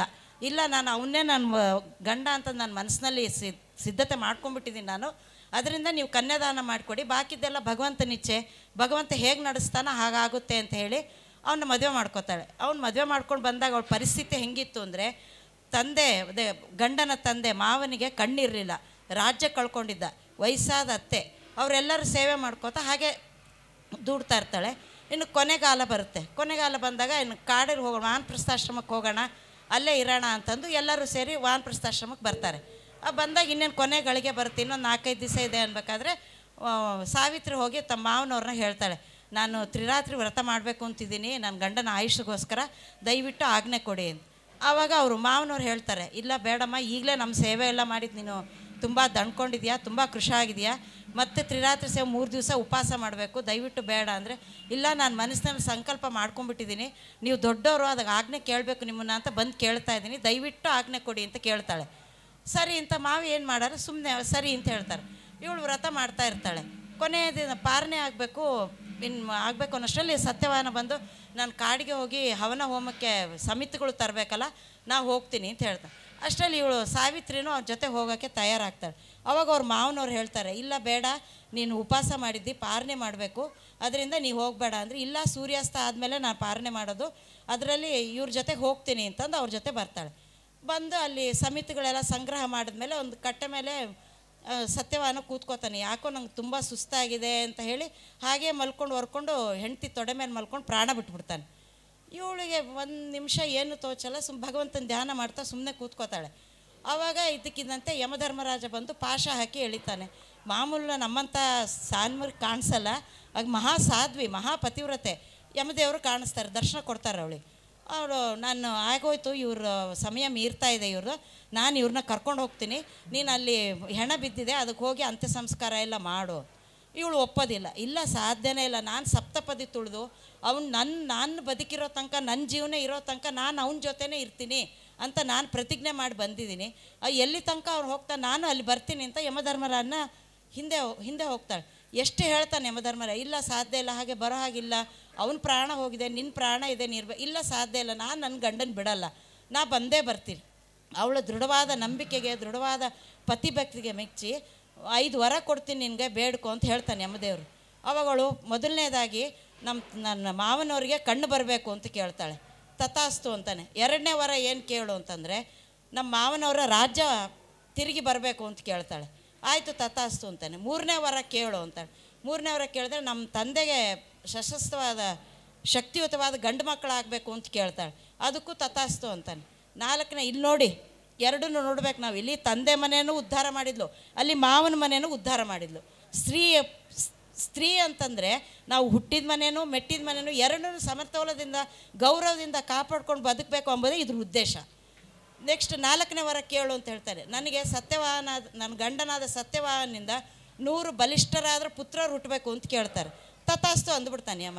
ಮತ್ತು ಆಮೇಲೆ ಐದನೇ ವರ ಕೇಳು ಅಂದಾಗ, ನೀನು ತಥಾಸ್ತು ಅಂದಿದೆಯಲ್ಲ ನನ್ನ ಪತಿ ಪ್ರಾಣ ಭಿಕ್ಷೆ ಕೊಡು ಅಂತ ಕೇಳ್ತಾಳೆ. ಆವಾಗ ಓ ಸರಿ, ಇವಳು ಅಖಂಡವಾದ ಭಕ್ತಿಗೆ, ಇವಳು ಅಖಂಡವಾದ ನಂಬಿಕೆಗೆ, ದೇವ್ರ ಮೇಲೆ ಇಟ್ಟಿರೋ ಅವಳ ನಂಬಿಕೆಗೆ ಮೆಚ್ಚಿ ಯಮಧರ್ಮರಾಜ, ಹೋಗಿ ನೀವು ಸುಖವಾಗಿ ಬಾಳಿ ಅಂತೇಳಿ ಅವ್ರ ಗಂಡನ ಬದುಕಿಸಿ ನಾನ್ನೂರು ವರ್ಷ, ನೀವು ಸುಖವಾಗಿ ಬಾಳಿ ಅಂತೇಳಿ ಆಶೀರ್ವಾದ ಮಾಡಿ ಕಳಿಸ್ಕೊಡ್ತಾನೆ. ಈ ರೀತಿ ತನ್ನ ಅಖಂಡವಾದ ಭಕ್ತಿಯಿಂದ, ದೇವ, ದೈವದ ಮೇಲಿದ್ದ ನಂಬಿಕೆಯಿಂದ ಸಾವಿತ್ರಿ ತನ್ನ ಪತಿಯನ್ನು ತಿರುಗಿ ಪಡೆಯುತ್ತಾಳೆ. ಹರೇ ಶ್ರೀನಿವಾಸ. ಸತ್ಯವಾನ್ ಸಾವಿತ್ರಿ ಕಥೆಯನ್ನು ಅತ್ಯಂತ ಸುಂದರವಾಗಿ ಹೇಳಿದ್ಲು. ಸತ್ಯವಾನ್ ಬಂದ ತಕ್ಷಣ ಪತಿ, ಪತ್ನಿ ಇಬ್ಬರು ಮನೆಗೆ ಬರ್ತಾರೆ. ಅತ್ತೆ, ಮಾವಂಗೆ ಅಷ್ಟೊತ್ತಿಗೆ ಕಣ್ಣು ಬಂದಿರುತ್ತೆ ಮಾವನಿಗೆ, ಬಹಳ ಸಂತೋಷ ಆಗುತ್ತೆ. ಉಳಿದ ಋಷಿಗಳಿಗೆಲ್ಲ ಆಶ್ಚರ್ಯ ಆಗತ್ತೆ. ಇದುವರೆಗೆ ಮಾಮನಿಗೆ ಕಣ್ಣಿರಲಿಲ್ಲ, ಮಾಮನಿಗೆ ಕಣ್ಣು, ಕಳ್ಕೊಂಡ ರಾಜ್ಯ, ಎಲ್ಲವೂ ಒಬ್ಬ ಸೊಸೆಯಿಂದ ಸಿಕ್ತು ಅಂದರೆ ತಾನು ಈಗ ಅಕಸ್ಮಾತ್ ನಮಗೆ ಏನಾರ ದೇವ್ರ ಪ್ರತ್ಯಕ್ಷ ಆಗಿ ವರ ಕೊಡ್ತೀನಿ ಅಂತ ಕೇಳಿದ್ರೆ ನಮ್ಮ ಸ್ವಂತಕ್ಕೆ ಏನು ಬೇಕೋ ಅದನ್ನು ಕೇಳ್ತಿದ್ವಿ. ಅವಳು ಅದನ್ನು ಕೇಳಲಿಲ್ಲ. ಮಾಮನಿಗೆ ಕಣ್ಬೇಕು ಮಾಮನಿಗೆ ರಾಜ್ಯ ಬರಬೇಕು, ಮಾಮನ ಮನೆ ಉದ್ಧಾರ ಆಗಬೇಕು ಅಂತ. ಆ ಪಾತಿವ್ರತ್ಯ ಧರ್ಮದ ಶ್ರೇಷ್ಠತೆ ಹೇಗಿತ್ತು ಅಂತ ಹೇಳಿ. ಆ ಎಲ್ಲ ಋಷಿಗಳಿಗೆ ಭಕ್ತಿಯಿಂದ ನಮಸ್ಕಾರ ಮಾಡಿ ಹೋಗಿರ್ತಾಳೆ, ಮತ್ತೆ ಬಂದು ನಮಸ್ಕಾರ ಮಾಡ್ತಾಳೆ. ನಮಸ್ಕಾರ. ಶಾಸ್ತ್ರ ತಿಳಿಸ್ತಾ ಇದೆ. ಹಿರಿಯರಿಗೆ, ಜ್ಞಾನಿಗಳಿಗೆ ನಮಸ್ಕಾರ ಮಾಡಿದರೆ ಅಭಿವಾದನಶೀಲಸ್ಯ ನಿತ್ಯಂ ವೃದ್ಧೋಪಸೈವಿನಃ ಚತ್ವಾರಿ ತಸ್ಯ ವರ್ಧಂತೆ ಆಯು ಕೀರ್ತಿ ಪ್ರಜ್ಞಾ ಬಲಂ ಅಂತ. ಆಯುಷು ಸಿಗತ್ತೆ, ಕೀರ್ತಿ ಸಿಗ್ತಾ ಇದೆ. ಪ್ರಜ್ಞೆ ಅಂದರೆ ಒಳ್ಳೆ ಶಾಸ್ತ್ರಜ್ಞಾನ ಬರ್ತಾ ಇದೆ. ಬೇಕಾಗಿರ್ತಕ್ಕಂಥ ಜೀವನ ನಡೆಸಲಿಕ್ಕೆ ಬಲ ಸಿಗ್ತಾ ಇದೆ. ಎಲ್ಲವನ್ನು ಸಾಧಿಸಿದವಳು ದಿಟ್ಟೆ ಸಾವಿತ್ರಿ ಅಂತೇಳಿ ಯಾರು ಅದನ್ನ ನೋಡ್ಕೊಂಡು ಮತ್ತೆ ಹಂಗೆ ಅನುಸರಿಸಿ ಹೊರಟು ಬಿಡಿರ ಅವಳು ಪತಿವ್ರತ ಸ್ತ್ರೀ ಆಗಿದ್ದು ಅವಳಿಗೆ ಪಾತಿವ್ರತ ಧರ್ಮದ ತಪಶಕ್ತಿ ಅಷ್ಟು ಸಂಗ್ರಹ ಇತ್ತು. ಆದ್ದರಿಂದ ಅವಳು ಪುನಃ ಗಣನನ ಕರ್ಕೊಂಡು ಬಂದ್ಲು ಅಂತ. ಒಟ ಸಾವಿತ್ರಿ ಹುಣ್ಣಿಮೆ ದಿನ ಇಷ್ಟು ಅನುಸಂಧಾನ ಮಾಡಿದರೆ ಸಾಕು. ಆ ಪತಿವ್ರತ ಭಾಗ್ಯ ಅನ್ನೋದು ಸಿಗ್ತಾ ಇದೆ. ನಿತ್ಯ ಸೌಮಂಗಲ್ಯವನ್ನು ಪಡ್ಕೊಂಡ್ಲು ಅಂತ ಬಹಳ ಅತ್ಯುತ್ತಮವಾಗಿ ಅವರು ತಿಳಿಸ್ಕೊಟ್ಟಿದ್ದಾರೆ ಅವರದ್ದು ಇದುವರೆಗೆ ಮೂರು ಜನ ಹೇಳಿದ್ರಲ್ಲ, ಅವರ ಪಾತ್ರ ಎಲ್ಲ ಒಬ್ಬ ಗಂಡನ ಜೊತೆಗೆ ಸಂಸಾರ ಮಾಡಿದವರು. ಇವಳು ಸಿಂಧು ಹೇಳ್ತಾ ಇದ್ದಾಳೆ, ಲೋಕದಲ್ಲಿ ಐದು ಜನ ಪತಿಯರ ಜೊತೆಗೆ ಸಂಸಾರ ಮಾಡಿರ್ತಕ್ಕಂಥ ದ್ರೌಪದಿ ಪಾತ್ರದ ವೈಶಿಷ್ಟ್ಯವನ್ನು ಇಲ್ಲಿ ಇವಳು ತಿಳಿಸ್ಕೊಡ್ತಾಳೆ, ಸಿಂಧು ಅರ್ಚಕ ಅವರು. ಹರೇ ಶ್ರೀನಿವಾಸ. ಹರೇ ಶ್ರೀನಿವಾಸ. कल्याणाद्भुतगात्राय कामितार्थप्रदायिने श्रीमद्वेङ्कटनाथाय श्रीनिवासाय ते नमः। प्रथमो हनुमन्नाम द्वितीयो भीम एव च, पूर्णप्रज्ञतृतीयस्तु भगवत्कार्यसाधक। पूज्याय राघवेन्द्राय, सत्यधर्मरताय च, भजतां कल्पवृक्षाय नमतां कामधेनवे ವೇದಶಾಸ್ತ್ರ ಪುರಾಣ ಕಥೆಗಳ ಓದಿ ಕೇಳ್ದವನಲ್ಲ, ತತ್ವದ ಹಾದಿ ತಿಳಿದವನಲ್ಲ. ಬುಧಜನ ಸಂಘ ಮೊದಲಿಲ್ಲ. ಮೋದ ತೀರ್ಥ ಪದಾಬ್ಜ ಮಧುಕರರಾದ ಶ್ರೀ ಗುರು ರಾಘವೇಂದ್ರ ಪಾದ ಪದ್ಮ ಪರಾಗಲೇಶದ ಸ್ಪರ್ಶ ಮಾತ್ರದಲ್ಲಿ. ವೃಕೋದರನ ಸಾರಧಿಯ, ತಂದೆಯ ಸಹೋದರಿಯ ಪತಿಯ ಗುರುವಿನ ಕೊಂದವನ ಸಹೋದರಿಗೆ ನಮೋ. ಅಂತ ಮಹಾನೀಯಳಾದ ದ್ರೌಪದಿಯ ಬಗ್ಗೆ ನಾನು ಇವತ್ತು ಮಾತಾಡ್ತಿದ್ದೇನೆ. ನನಗೊಂದು ಸಂಶಯ ಇಲ್ಲಿ, ಯಾರಿಗಾನ ಏನಾದರೂ ಅರ್ಥ ಆಯ್ತಾ ನಾನು ಹೇಳಿರೋದು? ಹಾಂ, ಈಗ ನಾನು ಅದನ್ನು ವಿಶ್ಲೇಷಣೆ ಮಾಡ್ತೀನಿ. ವೃಕೋದರನು ಅಂದರೆ ಭೀಮಸೇನನು. ಭೀಮಸೇನನ ಸಾರಥಿಯು ವಿಶೋಕನು. ವಿಶೋಕನು ಕೃಷ್ಣನ ಮಗ. ಕೃಷ್ಣನು ಮತ್ತು ಕುಬ್ಜೆಗೆ ಹುಟ್ಟಿದ ಮಗ ವಿಶೋಕನು. ಕೃಷ್ಣನ ಸಹೋದರಿಯು ಸುಭದ್ರ. ಸುಭದ್ರಾಳ ಪತಿಯು ಅರ್ಜುನನು. ಅರ್ಜುನನ ಗುರುವು ನಿಮ್ಮೆಲ್ಲರಿಗೆ ಗೊತ್ತಿದ್ದಂಗೆ ದ್ರೋಣಾಚಾರ್ಯರು. ದ್ರೋಣಾಚಾರ್ಯರು ಕೊಂದವನು ದೃಷ್ಟದ್ಯುಮ್ನನು ದೃಷ್ಟದ್ಯುಮ್ನನ ತ ಸಹೋದರಿಯೂ ಆದ ದ್ರೌಪದಿ ದೇವಿಗೆ ವಂದಿಸುತ್ತಾ ನಾನು ಇವತ್ತಿನ ನನ್ನ ಕಾರ್ಯಕ್ರಮವನ್ನು ಶುರು ಮಾಡುತ್ತೇನೆ. ದ್ರೌಪದಿ ದೇವಿಗೆ ಬಹಳಷ್ಟು ಹೆಸರುಗಳಿವೆ. ಅದರಲ್ಲಿ ಸ್ವಲ್ಪನೂ ನಾವು ನನಗೆ ತಿಳಿದಷ್ಟು ನಾನು ನಿಮಗೆ ಹೇಳಲಿಕ್ಕೆ ಪ್ರಯತ್ನ ಮಾಡುತ್ತೇನೆ. ದ್ರೌಪದಿ. ದ್ರೌಪದಿ ಎಂಬ ಹೆಸರು ಯಾಕೆ ಬಂತು ಅಂತಂದರೆ ದೃಪ ದೃಪದಸ್ಯ ಅಪತ್ಯಂ ಸ್ತ್ರೀ ದ್ರೌಪದಿ ಎಂದು. ಅದಕ್ಕೆ ಅತ್, ಅರ್ಥ ಏನು ಅಂದರೆ ದೃಪದನಿಂದ ಬಂದವಳಾಗಿ ದ್ರೌಪದಿ. ಇನ್ನೊಂದು ಕೃಷ್ಣೆ. ಕೃಷ್ಣೆ ಎಂಬುದು ಇಟ್ಟ ಹೆಸರು. ಅದು ಯಾಕೆ ಬಂತು, ಯಾವ ಕಾರಣದಿಂದ ಬಂತು ಅಂತಂದರೆ ಎಲ್ಲ ಹೆಣ್ಣು ಮಕ್ಕಳಕ್ಕಿಂತ ಶ್ರೇಷ್ಠವಾದವಳು ದ್ರೌಪದಿ. ಅದಕ್ಕಾಗಿ ಅವಳಿಗೆ ಹೆಸರು ಬಂತು ಕೃಷ್ಣ ಎಂಬುದು. ಇನ್ನೊಂದು ಪಾರ್ಶ್ಯತಿ ಪಿತಾಮಹನಾದ ಪುರುಷತ ಎಂಬ ಮಹಾರಾಜನಿಂದ ಬಂದ ಹೆಸರು ಪಾರ್ಶ್ಯತಿ ಯಜ್ಞಸೇನೆ. ಪೂರ್ವರಾಜರಲ್ಲೊಬ್ಬನಾದ ಯಜ್ಞಸೇನ ಎಂಬ ಮಹಾರಾಜನಿಂದಾಗಿ ಬಂದ ಹೆಸರು. ಭಾರತಿ. ಜೀವೋತ್ತಮನಾದ ಭರತನ ಪತ್ನಿ ಆದ್ದರಿಂದ ಭಾರತಿ ಎಂಬುವ ಹೆಸರು. ಇನ್ನೊಂದು ಬೃಹತಿ ಎಂದು. ಇದು ಇಡೀ ಮಹಾಭಾರತದಲ್ಲಿ ಕೇವಲ ಎರಡೇ ಎರಡು ಬಾರಿ ಯೂಸ್ ಮಾಡಿರೋ ಹೆಸರು. ಬಳಸಿರೋ ಹೆಸರು. ತಪ್ಪಾಗಿ ತಿಳಿಬೇಡಿ, ನನಗೆ ಕನ್ನಡ ಅಷ್ಟು ಸ್ಪಷ್ಟವಾಗಿ ಬರಲ್ಲ, ಇಂಗ್ಲೀಷ್ ವರ್ಡ್ಸ್ ಕೂಡ ಯೂಸ್ ಮಾಡ್ತೀನಿ ಮಧ್ಯ ಮಧ್ಯ. ಈಗ ನಾವು ದ್ರೌಪದಿ ದೇವಿಯ ವೈಶಿಷ್ಟ್ಯ ಬಗ್ಗೆ ಮಾತಾಡೋಣ. ದ್ರೌಪದಿ ದೇವಿಯ ಜನನ, ಅಯೋನಿಜಳು, ದ್ರೌಪದಿ ದೇವಿ ಅಯೋನಿಜಳು. ನಾವು ನಮ್ಮ ಪುರಾಣ ಕಥೆಗಳೆಲ್ಲ ಎಲ್ಲಿ ನೋಡಿದರೂ ಬರೇ ಮಹಾಲಕ್ಷ್ಮಿ ಅವತಾರ ಮಾತ್ರ ಅಯೋನಿಜಳಾಗಿ ಬಂದಿರೋದು. ಎಲ್ಲಿ ಅಂತಂದರೆ ಸೀತಾದೇವಿ. ನೆಗಿಲಿ ಸಹಾಯದಿಂದ ಭೂ, ಭೂದೇವಿ ಹೊಟ್ಟೆಯಲ್ಲಿ, ಭೂ ಭೂವಿಂದ ಬಂದವಳು ಸೀತಾದೇವಿ. ಇನ್ನು ಪದ್ಮಾವತಿ ದೇವಿ. ಪದ್ಮಾವತಿ ದೇವಿ ಕೂಡ ಭೂಮಾತೆ ಅವತಾರ. ಮಹಾಲಕ್ಷ್ಮಿಯಾದ ಭೂದೇವಿಯ ಅವತಾರ. ಅವಳು ಹೆಂಗೆ ಬಂದರು ಅಂದರೆ ಪದ್ಮ ಕಮಲೆಯಿಂದ ಪ್ರಾದುರ್ಭಾವವಾದಳು. ಹಾಗೆ ದ್ರೌಪದಿ ದೇವಿಯು ಕೂಡ ಯಜ್ಞಕುಂಡದಿಂದ ಪ್ರಾದುರ್ಭಾವವಾದಳು. ಆ ಯಜ್ಞಕುಂಡ ಯಾವ ಕಾರಣ ಅಂದರೆ ಗಂಗಾ ತೀರದಲ್ಲಿ ದೃಪದನು ಮಗಳ ಕೋ, ಮಗಳು ಮತ್ತು ಮಗ ಕೋಸ್ರ ಮಾಡಿಸಿದ, ಯಾಜೋಪಜಯರ ಜೊತೆ ಮಾಡಿಸಿದ ಯಜ್ಞದಿಂದ ಪ್ರಾದುರ್ಭಾವ ಆದವಳು ದ್ರೌಪದಿ. ನಮಗೆ ಈ ಯಜ್ಞಕುಂಡದಿಂದ ದ್ರೌಪದಿ ಬಂದಿದ್ದರಿಂದ ನಾವು ಏನು ತಿಳಿಯಬಹುದು ಅಂತಂದರೆ ದ್ರೌಪದಿಯು ದೋಷ ದೂರಳು ದ್ರೌಪದಿಗೆ ಯಾವ ದೋಷವೂ ಇಲ್ಲ ಎಂಬುದು ನಾವು ಇಲ್ಲಿಂದ ತಿಳಿಯಬಹುದು. ಮತ್ತು ಮದುವೆ. ಇಲ್ಲಿ ಎಲ್ಲರಿಗೆ ದ್ರೌಪದಿ ದೇವಿಗೆ ಐದು ಮಂದಿ ಪತಿ. ಅಂದರೆ ಎಲ್ಲರಿಗೆ ಸಾಮಾಜಿಕವಾಗಿ ದೃಷ್ಟಿಯಿಂದ ನೋಡಿದರೆ ವ್ಯಭಿಚಾರಿ. ವ್ಯಭಿಚಾರಿ ಮಾತ್ರ ಐದೈದು ಮಂದಿ. ಒಂದು ಗಂಡಸಕ್ಕನ್ನ ಹೆಚ್ಚು ಮಂದಿ ಗಂಡಸರಿಂದ ಸಂಪರ್ಕ, ಸಂಬಂಧ ಇಟ್ಕೊಂಡ್ರೆ ವ್ಯಭಿಚಾರಿ ಅಂತ ನಾವು ಕರಿತೇವೆ. ಅದು ದ್ರೌಪದಿ ದೇವಿಯ ವಿಷಯದಲ್ಲಿ ತಪ್ಪು. ವ್ಯಭಿಚಾರಿಗಳು ಯಾಕೆ ಆ ಥರ ಸಂಬಂಧ ಇಟ್ಕೊತಾರೆ ಅಂದರೆ ಸ್ವಾರ್ಥಕ್ಕಾಗಿ. ಸ್ವಸುಖಕ್ಕಾಗಿ ದುಡ್ಡಿಗಾಗಿ ಆ ಥರ ಇರ್ತಾರೆ. ಆದರೆ ಇಲ್ಲಿ ದ್ರೌಪದಿ ದೇವಿಯು ಆಗ ಮಾಡ್ತಿ ಐದು ಮಂದಿ ಪತಿ ಉಳ್ಳೋದಕ್ಕೆ ಕಾರಣ ಪರೋಪಕಾರ ಸೇವೆ, ಭಗವತ್ ಸಂಕಲ್ಪ. ಐದು ಮಂದಿ ಪತಿ ಉಳ್ಳದಲ್ಲಿ ಪರೋಪಕಾರ ಏನಿದೆ, ಭಗವತ್ ಸಂಕಲ್ಪ ಏನು ಎಂಬುದು ನಿಮ್ಗೆ ತುಂಬ ದೊಡ್ಡ ಡೌಟ್ ಬರುತ್ತೆ. ಅಲ್ಲಿ ಐದು ಮಂದಿ ಪತಿ ಅಂದರೆ ದ್ರೌಪದಿ ದೇವಿ, ಸ್ವತಃ ಭಾರತೀ ದೇವಿ. ಅವಳಲ್ಲಿ ಶಚಿದೇವಿ ಶ್ಯಾಮಲಾದೇವಿ ಹಾಗೂ ಉಷಾದೇವಿಯರ ಅವತಾರ ಇರುತ್ತೆ. ಶ್ಯಾಮಲಾದೇವಿ ಅಂದರೆ ಧರ, ಯಮಧರ್ಮರಾಜನ ಮಡದಿ. ಶಚಿದೇವಿ ಅಂದರೆ ಇಂದ್ರನ ಪತ್ನಿ, ಉಷಾದೇವಿ ಅಂದರೆ ಅಶ್ವಿನಿ ದೇವತೆಗಳ ಪತ್ನಿ. ನಮಗೆ ತಿಳಿದಂತೆ ಪಾಂಡವರು ಯುಧಿಷ್ಠಿರನು, ಭೀಮಸೇನನು, ಅರ್ಜುನನು ನಕುಲ ಸಹದೇವರು ಇವ್ರು ಯಾರ್ಯಾರು ಅಂತಂದರೆ ಯಮಧರ್ಮರಾಜನು, ಭೀಮಸೇನ ಭೀಮಸೇನ ಅಂದರೆ ವಾಯುದೇವರು, ಅರ್ಜುನ ಅಂದರೆ ಇಂದ್ರನು ನಕುಲ ಸಹದೇವರಂದರೆ ಅಶ್ವಿನಿ ದೇವತೆಗಳು. ಇವರಿವರ ಪತ್ನಿಗಳೇ ದ್ರೌಪದಿ ದೇವಿಯ ಮ ಏನು, ದೇಹದಲ್ಲಿ ಸನ್ನಿಹಿತರಾಗಿದ್ದಾರೆ. ದ್ರೌಪದಿ ದೇವಿಯು ಸ್ವತಃ ಭಾರತೀ ದೇವಿ. ನಾನು ಆಲ್ರೆಡಿ ತಿಳಿಸಿದ್ದೀನಿ ಆ ವಿಷಯನ್ನು ದ್ರೌಪದಿ ದೇವಿ ಹಾಗೆ ಮಾಡಿದ್ದು ಅಂದರೆ ಭಗವತ್ ಸಂಕಲ್ಪ. ಐದು ಮಂದಿ ಪತಿ ಉಳ್ಳೋದಕ್ಕೆ ಯಾಕೆ ಅಂತಂದರೆ ಅವಳ ದೇಹದಲ್ಲಿ ಸನ್ನಿಧಾನವಾಗಿರುವ ಮೂರು ದೇವತಾ ಸ್ತ್ರೀಯರನ್ನು ಉದ್ಧಾರಕ್ಕಾಗಿ ಅವರಿಗೆ ಸದ್ಗತಿ ಪ್ರಾಪ್ತಿ ಮಾಡಲಿಕ್ಕೆ ಅವರ ಭಕ್ತರಾದ ದೈವ ದೇವತ ಭಗವಂತನ ಭಕ್ತರಾದ ಅವರಿಗೆ ದ, ಸದ್ಗತಿ ಪ್ರಾಪ್ತಿಸ್ ಪ್ರಾಪ್ತಿಸಲಿಕ್ಕೆ ಈ ಥರ ಮಾಡಿದ್ದು ದ್ರೌಪದಿ ದೇವಿ. ಇದು ಮಾನುಷ್ಯ ಬುದ್ಧಿ ರೀತಿನಾತ್ರ ವಿಚಾರಣೀಯ. ನಾವು ಮನುಷ್ಯ ಬುದ್ಧಿಯಿಂದ, ಸಾಮಾಜಿಕ ದೃಷ್ಟಿಯಿಂದ, ಲೌಕಿಕ ದೃಷ್ಟಿಯಿಂದ ನೋಡೋದು ಬಹಳ ದೊಡ್ಡ ತಪ್ಪು. ದೇವತೆಗಳ ವಿಚಾರದಲ್ಲಿ ಅದು ಮೊದಲು ದ್ರೌಪದಿ ದೇವಿಯ ದಾಂಪತ್ಯದಲ್ಲಿ, ದ್ರೌಪದಿ ಪಾಂಡವರ ದಾಂಪತ್ಯದಲ್ಲಿ ನಾವು ನೋಡೋದು ಬಹಳ ದೊಡ್ಡ ತಪ್ಪು. ಹೀಗೆ ದ್ಯೂತ, ದ್ರೌಪದಿ ದೇವಿ ಜೊ ಪಾಂಡವರ ಜೊತೆ ದ್ರೌಪದಿ ದೇವಿಯ ಮದುವೆ ಆಯಿತು. ರಾ, ದ್ರೌಪ ಪಾಂಡವರು ವಾಪಸ್ ರಾಜ್ಯಕ್ಕೆ ಬಂದರು. ಅಲ್ಲಿ ಇಂದ್ರಪ್ರಸ್ಥನ ರಾಜಧಾನಿಯಾಗಿ ಮಾಡಿಕೊಂಡು ಅವರು ರಾಜ್ಯವನ್ನು ಆಳೋದು ಶುರು ಮಾಡಿ, ಆಳೋದು ಅಂದರೆ ಏನು, ಪರಿಪಾಲನೆ ಮಾಡೋದು ಶುರು ಮಾಡಿದರು. ಆವಾಗ ರಾಜಸೂಯ ಯಾಗ ಮಾಡಬೇಕು ಪಾಂಡುರಾಜನಿಗೆ ಸದ್ಗತಿ ಬೇಕು ಅಂತ ನಾರದರು ಬಂದು ತಿಳಿಸಿದರು.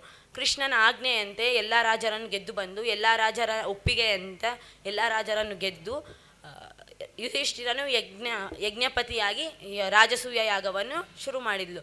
ಇಲ್ಲಿ ಯಜ್ಞಪತ್ನಿಯಾಗಿ ದ್ರೌಪದಿ ಮಾಡಿದ್ಲು. ಈಗ ದ್ಯೂತ, ಈ ರಾಜಸೂಯ ಯಾಗದಲ್ಲಿ ಪಾಂಡವರಿಗೆ ಬಂದ ವೈಭವ, ಅದನ್ನೆಲ್ಲ ನೋಡಿ ದುರ್ಯೋಧನ ಕಿಚ್ಚಿನಿಂದ, ಹೊಟ್ಟೆ ಕಿಚ್ಚಿನಿಂದ, ಮಾತ್ಸರ್ಯದಿಂದ ಧೃತರಾಷ್ಟ್ರನನ್ನು ಮುಂದಿಟ್ಕೊಂಡು ದ್ಯೂತ ಎಂಬುವ ಒಂದು ಸಂದರ್ಭವನ್ನು ಸೃಷ್ಟಿ ಮಾಡಿದನು. ಆ ದ್ಯೂತದಲ್ಲಿ ಯುಧಿಷ್ಠಿರನು ದೊಡ್ಡಪ್ಪನ ಮಾತು ಮೀರಬಾರ್ದು, ದೊಡ್ಡವರ ಮಾತು ಪಾಲಿಸಬೇಕು ಎಂದು ದ್ಯೂತ ಆಡಲಿಕ್ಕೆ ಎಷ್ಟೇ, ಯಾರೇ ಎಷ್ಟೇ ತಡಿದರೂ ನಿಂದಿರಲಾರ್ದೆ ದೊಡ್ಡಪ್ಪನ ಮಾತು ಸುಳ್ಳಾಗಬಾರ್ದು ಎಂಬ ಒಂದು ಕಾರಣದಿಂದ ಒಂದು ದ್ಯೂತವನ್ನು ಆಡಿದನು. ಅದರಲ್ಲಿ ತನ್ನನ್ನು ತನ್ನದ ಏನಂತ, ತನ್ನ ಸಂಪತ್ತನ್ನು, ರಾಜ್ಯವನ್ನು, ತಮ್ಮಂದಿರ ಶಸ್ತ್ರವನ್ನು, ತನ್ನ ಶಸ್ತ್ರಾಸ್ತ್ರವನ್ನು, ಆಮೇಲೆ ತಮ್ಮಂದಿರನ್ನು, ತನ್ನನ್ನು ಲಾಸ್ಟಿಗೆ ಹೆಂಡತಿಯಾಗಿ ತನ್ನನ್ನು ನಂಬಿ ಬಂದಿರುವ ಹೆಂಡತಿಯನ್ನು ಕೂಡ ಇಟ್ಟು ಸೋತನು. ಆವಾಗ ದ್ರೌಪದಿ ದೇವಿಗೆ ಬಹಳ ಅವಮಾನ, ವಸ್ತ್ರಾಭರಣ ಎಂಬುವ ದೊಡ್ಡ ಅವಮಾನ ಆಗತ್ತೆ. ಅದೆಲ್ಲ ಆದ ಮೇಲೆ ಧೃತರ, ವಿದುರನ ಮಾತು ಕೇಳಿ ಧೃತರಾಷ್ಟ್ರನು ದ್ರೌಪದಿ ದೇವಿಗೆ ವರವನ್ನು ಕೊಡಲು ಸನ್ನದ್ಧನಾದನು. ದ್ರೌಪದಿ ದೇವಿಯು ಧೃತರಾಷ್ಟ್ರನ್ ಕೇಳ್ತಾನೆ, ದ್ರೌಪದಿ, ಅಮ್ಮ ನಿನ್ಗೆ ಏನು ಬೇಕು? ನನ್ನ ಮಗ ನನ್ನ ಮಕ್ಕಳಿಂದ ತುಂಬ ಅಪಚಾರವಾಗಿದೆ.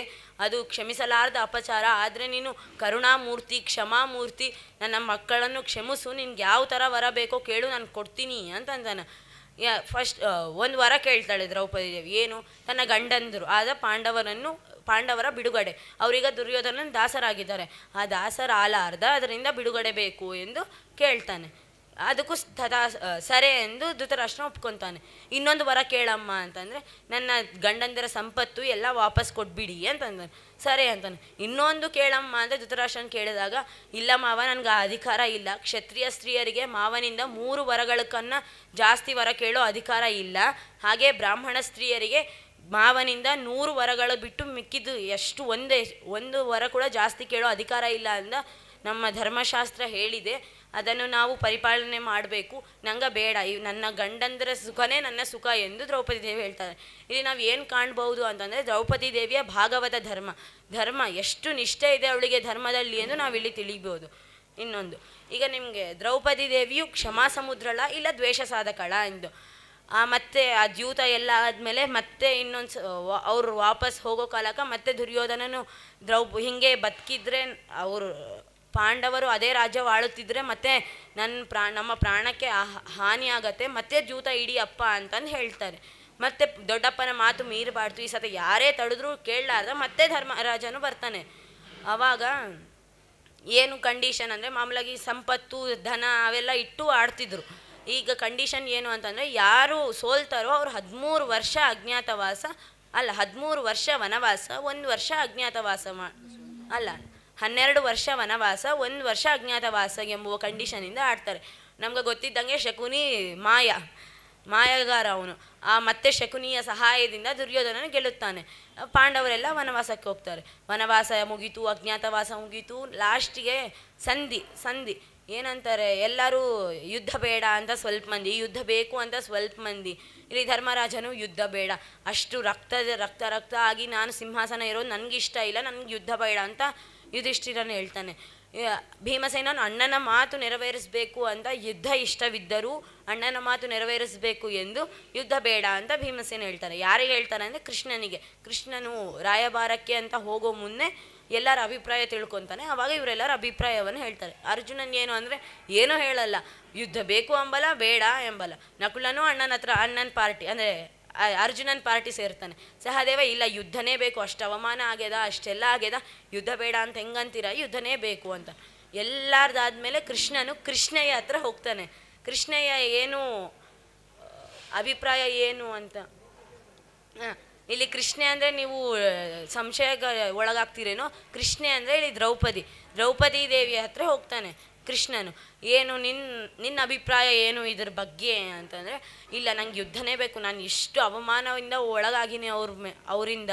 ಇಲ್ಲಿ ಹೆಂಗೆ ಯುದ್ಧ ಇಲ್ಲ ಅಂದರೆ ಹೆಂಗ? ಅಂತಂದರೆ, ಇಲ್ಲಿ ಯುಧಿಷ್ಠಿರನೇ ಬೇಡ ಎಂದಾಗ ದ್ರೌಪದಿದು ಏನು ಎಂಬುದು ನಿಮ್ಮ ಡೌಟು.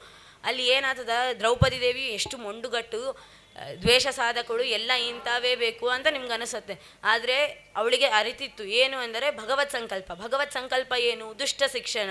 ದುಷ್ಟ ಸಂಹಾರ ದುಷ್ಟರ ಸಂಹಾರಕ್ಕಾಗೇ ಎಲ್ಲರ ಅವತಾರ. ದೇವರು ಭೂಮಿಯಲ್ಲಿ ಅವತಾರ ಮಾಡ್ಯಾರ ಅಂತಂದರೆ ಅದಕ್ಕೆ ಅರ್ಥ ದುಷ್ಟರ ಸಂಹಾರಕ್ಕಾಗಿ. ಅದಕ್ಕೆ ಏನಂತ ಸಪೋರ್ಟ್ ಮಾಡ್ಕೊತಾನೆ ಮಿಕ್ಕಿದ ಎಲ್ಲ ದೇವತೆಗಳು ಅವತಾರ ಮಾಡಬೇಕು. ಆದರೂ ಇಲ್ಲಿ ಸ್ವಲ್ಪ ಹೆಚ್ಚು ಕಮ್ಮಿ ಆಗಿದೆ. ದ್ರೌಪದಿ ದೇವಿಯು ಮಾತ್ರ ಗಟ್ಟಿ ನಿರ್ಧಾರದಿಂದ ನಂಗೆ ಯುದ್ಧನೇ ಬೇಕು ಅಂತಾನೆ, ಅಂತಾಳೆ. ದ್ರೌಪದಿ ದೇವಿ ಆ ಮಾತು ಕೇಳಿ ಕೃಷ್ಣನು, ಸರಿ, ಯುದ್ಧನೇ ಆಗತ್ತೆ, ನೀನು ಟೆನ್ಷನ್ ಆಗಬೇಡ ಅಂಬೋ ಥರ ಮಾತು ಕೊಟ್ಟು ಯುದ್ಧಕ್ಕೆ ಸಿದ್ಧ ಮಾಡ್ತಾನೆ. ಆದಮೇಲೆ ಇಲ್ಲಿ ದ್ವೇಷ ಸಾಧಕಗಳು ಅಂತ ನೀವೆಲ್ಲ ಫಿಕ್ಸ್ ಆಗಿಬಿಟ್ರಪ್ಪ. ಕ್ಷಮಾ ಸಮುದ್ರಳು ಅಂತ ನಾನು ಹೇಳ್ತೀನಿ. ನಾ ಕ್ಷಮಾ ಸಮುದ್ರಳು ಎಲ್ಲಿ ಅಂತ ಗೊತ್ತಾಗತ್ತೆ ಅಂತಂದರೆ ಯುದ್ಧ ಎಲ್ಲ ಆದಮೇಲೆ ಅಶ್ವತ್ಥಾಮಾಚಾರ್ಯರು ತನ್ನ ಎಲ್ಲ ಐದು ಮಂದಿ ಮಕ್ಕಳನ್ನು ಕೊಳ್ಳಿದರೂ ಅಶ್ವತ್ಥಾಮಾಚಾರ್ಯರನ್ನು ಕೊಲ್ಲಬೇಡ ಎಂದು ಹೇಳಿರ್ತಾಳೆ ದ್ರೌಪದಿ. ಅಲ್ಲಿ ಯಾಕ ಬೇಡ ಅಂತ, ಯಾಕ ಬೇಡ ಅಂತಾಳ ಅಂತಂದರೆ, ನನಗೆ ಆಗಿರೋ ಪುತ್ರವಿಯೋಗ ಗುರುಪತ್ನಿಯಾದ ಕೃಪಿಗೆ ಆಗಬಾರದು. ನಾನು ನಾನು ಪಡ್ತಿರೋ ಬಾಧನೆ ಸಾಕು. ಅಲ್ಲಿ ಬೇಡ, ಗುರುಪತ್ನಿಗೆ ಆ ಬಾಧ ಬೇಡ ಎಂಬುವ ಕಾರಣದಿಂದಾಗಿ ತನ್ನ ಮಕ್ಕಳನ್ನು ಕೊಳ್ಳಿದ ಅಶ್ವತ್ಥಾಮಾಚಾರ್ಯರನ್ನೇ ಬೇಡ ಕೊಲ್ಲಬೇಡಿ ಅಂತಂದರು. ಅಲ್ಲಿ ಏನಂತ ಗೊತ್ತಾಗತ್ತೆ? ಮಕ್ಕಳನ್ನು ಕೊಳ್ಳಿದವರು ಮಾಮೂಲಾಗಿ ಯಾರನ್ನ ಅಲ್ಲಿ ಮಕ್ಕಳನ್ನ ಕೊಳ್ಳಿದವ್ರನ್ನ ಯಾರು ಕೊಲ್ಲಬೇಡ ಅಂತ ಹೇಳಿ, ಹೇಳ್ರಿ. ಎಲ್ಲರೂ ಕೊಲ್ಲು ಕೊಲ್ಲು ಕೊಲ್ಲು ಅಂತಾರೆ. ಅಲ್ಲಿ ಬೇಡ ಅಂತಿದ್ದಾಳೆ ಅಂದರೆ ಅವಳ ಎಷ್ಟು ಕ್ಷಮಾ ಸಮುದ್ರಳೋ ನಮ್ಗೆ ಅರ್ಥ ಆಗತ್ತೆ. ಅಷ್ಟು ಕ್ಷಮಾ ಸಮುದ್ರಳನ್ನು ದ್ವೇಷ ಸಾಧಕಳು ಅಂಬೋದು ಮಾತ್ರ ನಮ್ಮ ತಪ್ಪೇ ಆಗತ್ತೆ. ಇಲ್ಲಿ ಇನ್ನೊಂದು ಅರ್ಥ ಮಾಡ್ಕೋಬೇಕು ಅಂದರೆ ಅಶ್ವತ್ಥಾಮಾಚಾರ್ಯು ಬದುಕಿರಬೇಕು ಬಾದ ಮಾತ ಅನುಭವಿಸ್ಬೇಕು ಅಂಬೋದು ಭಗವತ್ ಸಂಕಲ್ಪ. ಭಗವತ್ ಸಂಕಲ್ಪ ಏನು? ದುಷ್ಟ ರಕ್ಷಣ, ದುಷ್ಟ ಶಿಕ್ಷಣ, ರಿಶ್, ಶಿಷ್ಟ ರಕ್ಷಣ ಎಂಬುದು ಭಗವತ್ ಸಂಕಲ್ಪ. ಅಲ್ಲಿ ದುಷ್ಟ ಶಿಕ್ಷಣಕ್ಕೂ ಸಹಾಯವಾದಲು, ಇಲ್ಲಿ ಶಿಷ್ಟ ರಕ್ಷಣಕ್ಕೂ ಸಹಾಯವಾದಲು. ಅಂತ ದ್ರೌಪದಿ ದೇವಿಗೆ ನಮ್ಮ ಮತ್ತೆ ಎಲ್ಲ ಯುದ್ಧ ಆದಮೇಲೆ ಭೀಮಸೇನ ದೇವ, ಭೀಮಸೇನನಿಗೆ ಮಾತ್ರ ದ್ರೌಪದಿ ದೇವಿ ಹೆಂಡತಿಯಾಗಿ ಉಳಿದ್ಲು. ಅದು ಯಾ, ಹೆಂಗೆ ಅಂತಂದರೆ ಪ್ರಾಯ ಒಬ್ಬ ಪುತ್ರನ ಜನಿಸುವವರಿಗೂ ಮಾತ್ರ ಲಕು, ನಕುಲ ಸಹದೇವರಿಗೆ ಹೆಂಡತಿಯಾಗುತ್ತಲು ಮರೆ, ಅವು ದ್ರೌಪದಿ ದೇವಿಯಲ್ಲಿ ನಾನು ಆಲ್ರೆಡಿ ಹೇಳಿದ್ದಂಗೆ ನಾಲ್, ಮೂವರು ದೇವತಾ ಸ್ತ್ರೀಯರ ಆವೇಶವಿತ್ತು. ಒಬ್ಬರೊಬ್ಬರ ಆವೇಶ ಮರೆಯಾಗುತ್ತಿರಲ್ಲೇ, ಮರೆಯಾಗುತ್ತಿದ್ದಂತೆ ಅವರವರ ನಿಯತ ಪತ್ನಿಯರ ಜೊತೆಯಿಂದ ಸಂಪರ್ಕ ದೂರವಾಯಿತು. ಶ್ಯಾಮಲಾದೇವಿ, ದ್ರೌಪದಿ ದೇವಿಯ ದೇಹದಲ್ಲಿ ಸನ್ನಿಹಿತಲಾಗಿರುವವರಿಗೂ ಮಾತ್ರ ಯುಧಿಷ್ಠಿರನಿಗೆ ಪತ್ನಿಯಾದ್ಲು. ಶಚಿದೇವಿ ಇರುವವರಿಗೂ ಮಾತ್ರ ಅರ್ಜುನನಿಗೆ ಪತ್ನಿಯಾದ್ಲು. ನಕುಲ ಸಹದೇವರಿಗೆ ಉಷಾಮ ಉಷಾದೇವಿ ಇರುವವರಿಗೂ ಮಾತ್ರ ಪತ್ನಿಯಾದಳು ಎಲ್ಲ ಪ್ರಾಯ ಒಬ್ಬ ಪುತ್ರ ಜನಿಸುವವರಿಗೆ ಮಾತ್ರ ನಕುಲ ಸಹದೇವರಿಗೆ ಪತ್ನಿಯಾಗಿದ್ದಳು ಸ್ವಲ್ಪ ದಿನ ಆದ ಮೇಲೆ ಯುಧಿಷ್ಠಿರನಿಂದನೂ ದೂರ ಆದಳು. ಆಮೇಲೆ ಅರ್ಜುನನಿಂದನೂ ದೂರ ಆದಳು. ಈಗ ಲಾಸ್ಟಿಗೆ ದ್ರೌಪದಿ ದೇವಿಯು ನಮಗೆ ಗೊತ್ತಿದ್ದಂಗೆ ಭಾರತೀ ದೇವಿ, ಭೀಮಸೇನನು ವಾಯುದೇವರು. ಈಗ ನಿಯತ ಪತ್ನಿ, ಪತ್, ಪತಿ ಪತ್ನಿಯರ ಸಂಬಂಧ ಮಾತ್ರ ಉಳಿದಿದೆ. ಹೀಗೆ ದ್ರೌಪದಿಯ ವೈಶಿಷ್ಟ್ಯಕ್ಕೆ ಕಳಂಕ ಬರುವ ಒಂದು ಕಥೆಯನ್ನು ನಾವು ತಿಳಿಯೋಣ. ಕುಮಾರವ್ಯಾಸ ಬರೆದಿದೆ, ಕಣ್, ಜಂಬೂ ಫಲದ ಕತೆ ಅಂತ. ಜಂಬೂ ಫಲದ ಕತೆ ಅಂತ ಬರೆದಿದೆ. ಅದು ಏನು ಅಂತಂದರೆ, ವನವಾಸ, ಪಾಂಡವರೆಲ್ಲ ವನವಾಸದಲ್ಲಿದ್ರ ವನವಾಸದಲ್ಲಿದ್ದಾಗ ಒಂದು ಸತಿ ಭೀಮಸೇನ ದೇವರು ಆ ಕಡೆ ವನವಾಸ ಅಲ್ಲ, ವಿಹ ಸುಮ್ಮನೆ ಹಾಗೆ ತಿರುಗಾಡ್ಕೊಂತ ತಿರುಗಾಡ್ಕೊಂತ ಹೋಗಿ ಒಂದು ಗಿಡದ ಹತ್ರ ನಿಂತಂತ ಅದು ಒಂದು ಫಲ ಇತ್ತು. ಆ ಫಲದನ್ನು ಭೀಮಸೇನ ದೇವರು ಕಿತ್ಕೊಂಡ್ರು. ಅದು ಏನಾಯಿತು ಅಂತಂದರೆ ಆ ಫಲ ಕಣ್ವ ಮಹರ್ಷಿಗಳದು. ಕಣ್ವ ಮಹರ್ಷಿಗಳು ವರ್ಷ ಪೂರ್ತಿ ಧ್ಯಾನದಲ್ಲಿ ತಪಸ್ಸಲ್ಲಿ ಮುಳುಗಿ ಲಾಸ್ಟ್ ಒಂದು ದಿನ ಮಾತ್ರ ಕಣ್ಣು ತೆಗೆದು ಯಾ ಅವ್ರ ಗಿಡ ಎದುರು, ಅವ್ರ ಬಗ್ಲಿಗಿರೋ ಗಿಡದಲ್ಲಿ ಬ, ಆ ಜಂಬೂ ಫಲ ಬಂದಿರತ್ತೆ, ಅದನ್ನು ಮಾತ್ರ ತಿಂತಾ ಇದ್ರು. ಕಣ್ವ ಮುನಿಗಳಿಗೂ ಕೂಡ ಕೋಪ ಜಾಸ್ತಿ, ದುರ್ವಾಸ ಥರ. ಅವ್ರು ಏನನ್ನ ಕಣ್ಣು ಬಿಟ್ಬಿಟ್ರಂದ್ರೆ ಎಲ್ಲ ಪಾಂಡವ್ರು ಎಲ್ಲರಿಗೆ ಪಾಪ ಆಗ, ಏನು, ಪಾಪ ಬರತ್ತೆ ಎಂದು ಅಲ್ಲ, ಶಾಪ ಬರತ್ತೆ, ಅದಕ್ಕೆ ಏನು ಮಾಡೋದು ಅಂತ ದ್ರೌಪದಿ ದೇವಿ ಕೃಷ್ಣನನ್ನು ಪ್ರಾರ್ಥನೆ ಮಾಡಿಕೊಳ್ಳು. ಕೃಷ್ಣ ಯಾವ ಥರ ಅಂತಂದರೆ ದ್ರೌಪದಿ ಭಕ್ತಿಗೆ ವಶನಾದವ. ದ್ರೌಪದಿ ಎಲ್ಲೇ ಕರೆದ್ರು, ಯಾವಾಗೂ ಕರೆದ್ರು ಬಂದ್ಬಿಡ್ತಿದ್ದ. ಓಡಿ ಓಡಿ ಬರ್ತಿದ್ದ ಕೃಷ್ಣ. ದ್ರೌಪದಿ ಅಂದರೆ ಅಷ್ಟು ಇಷ್ಟ ಇತ್ತು. ತಂಗಿಯಾದ ಸುಭದ್ರಾಳ ಕಣ್ಣ ದ್ರೌಪದಿ ದೇವಿ ಅಂದರೆ ಅಷ್ಟು ಇಷ್ಟ ಕೃಷ್ಣನಿಗೆ. ಭಗವದ್ ಭಕ್ತಳು ರುಜಿಯೋಗಿ ಅಂಥ ದ್ರೌಪದಿ ಬಗ್ಗೆ ನಾವು ಮಾತಾಡ್ತಿದ್ದೀವಿ ಅಂದರೆ ಇವತ್ತು ನನ್ನ ಜನ್ಮ ಧನ್ಯ ಆದಂಗೆ. ಈಗ ದ್ರೌಪದಿ ದೇವಿ ಆ ಕಣ್ಮ ಫ ಜಂಬೂಫಲದ ಬಗ್ಗೆ ಮಾತಾಡೋಣ. ಕೃಷ್ಣ ಬಂದ. ಕೃಷ್ಣ ಅಂತಾನೆ, ಆ, ಜಂಬೂ ಫಲ ಮತ್ತೆ ಆ ಗಿಡಕ್ಕೆ ಇರಬೇಕು ಅಂತಂದ್ರೆ ಏನು ಮಾಡಬೇಕು ಅಂತ ದ್ರೌಪದಿ ದೇವಿ ಕೇಳ್ತಾಳೆ. ಅವಾಗಂತನ ನಿಮ್ಮ ಮನಸ್ಸಲ್ಲಿರುವ ಒಂದೊಂದು ಒಂದು ಇಷ್ಟಗಳನ್ನು ನೀವು ಹೇಳಿ, ಅದು ಒಂದು, ನೀವು ಒಬ್ರೊಬ್ರು ಒಂದೊಂದು ಹೇಳಿ, ಅದು ಮೇಲೆ ಮೇಲೆ ಮೇಲೆ ಹೋಗಿ ನೀವು ಆರು ಮಂದಿ ಇದ್ದೀರಲ್ಲ ಆರು ಕೋರಿಕೆಗೆ ನಿಮ್ಮ ಮನಸ್ಸಲ್ಲಿರೋ ನಿಜವಾದ ಉದ್ದೇಶವನ್ನು ಹೇಳಿ ಅವಾಗ ಅದು ಅಂಟ್ಕೊಂಡತ್ತೆ. ಮತ್ತೆ ಗಿಡಕ್ಕೆ ತಿರುಗಿ ವಾಪಸ್ ಹೋಗತ್ತೆ ಅಂತ ಹೇಳಿರ್ತಾರೆ. ಯಾರು? ಕೃಷ್ಣನು ಹೇಳ್ತಾನೆ ಹಂಗೆ. ಸರಿ, ಪಾಂಡವರೆಲ್ಲರೂ ಐದು ಮ ಐದು ಮಂದಿ ಒಬ್ರೊಬ್ರು ಒಂದು ಒಂದು ಹೇಳ್ಕೊಂತ ಬಂದರು. ಲಾಸ್ಟಿಗೆ ದ್ರೌಪದಿ ಟೈಮ್ ಈಗ. ದ್ರೌಪದಿ ಹೇಳಬೇಕು. ಫಸ್ಟ್ ಏನು ಹೇಳಲ್ಲ ಸುಮ್ಮನೆ ಇರ್ತಾಳೆ. ಕೃಷ್ಣನ್ ಕೇಳ್ತಾನೆ, ಹೇಳಮ್ಮ ಅಂತ. ಅವಾಗ ಹೇಳ್ತಾಳೆ, ನನ್ಗೆ ಈ ಐದು ಮಂದಿ ಅಲ್ಲ ಕರ್ಣನೂ ಪತಿಯಾಗಿದ್ರೆ ಬೇಷ್ ಅಂತ ದ್ರೌಪದಿ ಹೇಳ್ತಾಳಂತೆ. ಇದು ದ್ರೌಪದಿ ಪಾತ್ರಕ್ಕೆ ಪಾತ್ರಕ್ಕೆ ಎಷ್ಟು ಕಳಂಕ ತರುವ ಕಥೆ ಅಂತಂದರೆ ಇದು ಕುಮಾರವ್ಯಾಸರು ಬರೆದಿರುವ ಕತೆ ಕುಮಾರವ್ಯಾಸದಲ್ಲಿ ನಾವು ಕಂಡು ಬರುವ ಕತೆ ಇಂಥ ಕಲ್ಪ, ಕಾಲ್ಪನಿಕ ಕಥೆಗಳನ್ನು ದಂತಕಥೆಗಳನ್ನು ಸೃಷ್ಟಿಸಿ ನಮ್ಮ ಸ್ತ್ರೀಗಳ, ನಮ್ಮ ಏನಂತಾರೆ, ಪುರಾಣ ಕಥೆಗಳನ್ನು ಮಹಿಳೆಯರನ್ನು ಮಹಿಳೆಯರಂತಲೇ ಅಲ್ಲ, ಎಲ್ಲರನ್ನೂ ಎಷ್ಟು ಕಳಂಕ ತರಿಸುವ ಕಥೆಗಳು ತುಂಬ ಇದೆ. ಆದರೆ ಅವ್ಯಾವು ನಂಬಲಾರ್ದ, ನಮ್ಮ ಶ್ರೀಮದ್ ಆಚಾರ್ಯರು ಮಾ, ಕೊಟ್ಟಿರುವ ಮಹಾಭಾರತ ತಾತ್ಪರ್ಯ ನಿರ್ಣಯ ಓದಿ ಎಲ್ಲ ನಿಮ್ಗೆ ಗೊತ್ತಾಗತ್ತೆ ಅಂತ ಹೇಳ್ತಾ ಈಗ ಲಾಸ್ಟ್ ಒಂದೇ ಒಂದು ಒಂದು ವನವಾಸದಲ್ಲಿದ್ದಾಗೆ ಇದು ನಿಜವಾದ ಕತೆ, ಮತ್ತು ದಂತಕತೆ ಅಲ್ಲ. ಈಗ ದಂತಕತೆ ಹೇಳಿದೀನಿ ಅಂದರೆ ಇದನ್ನು ದಂತಕತೆ ಅನ್ಕೋಬೇಡಿ, ನಿಜವಾದ ಕತೆ.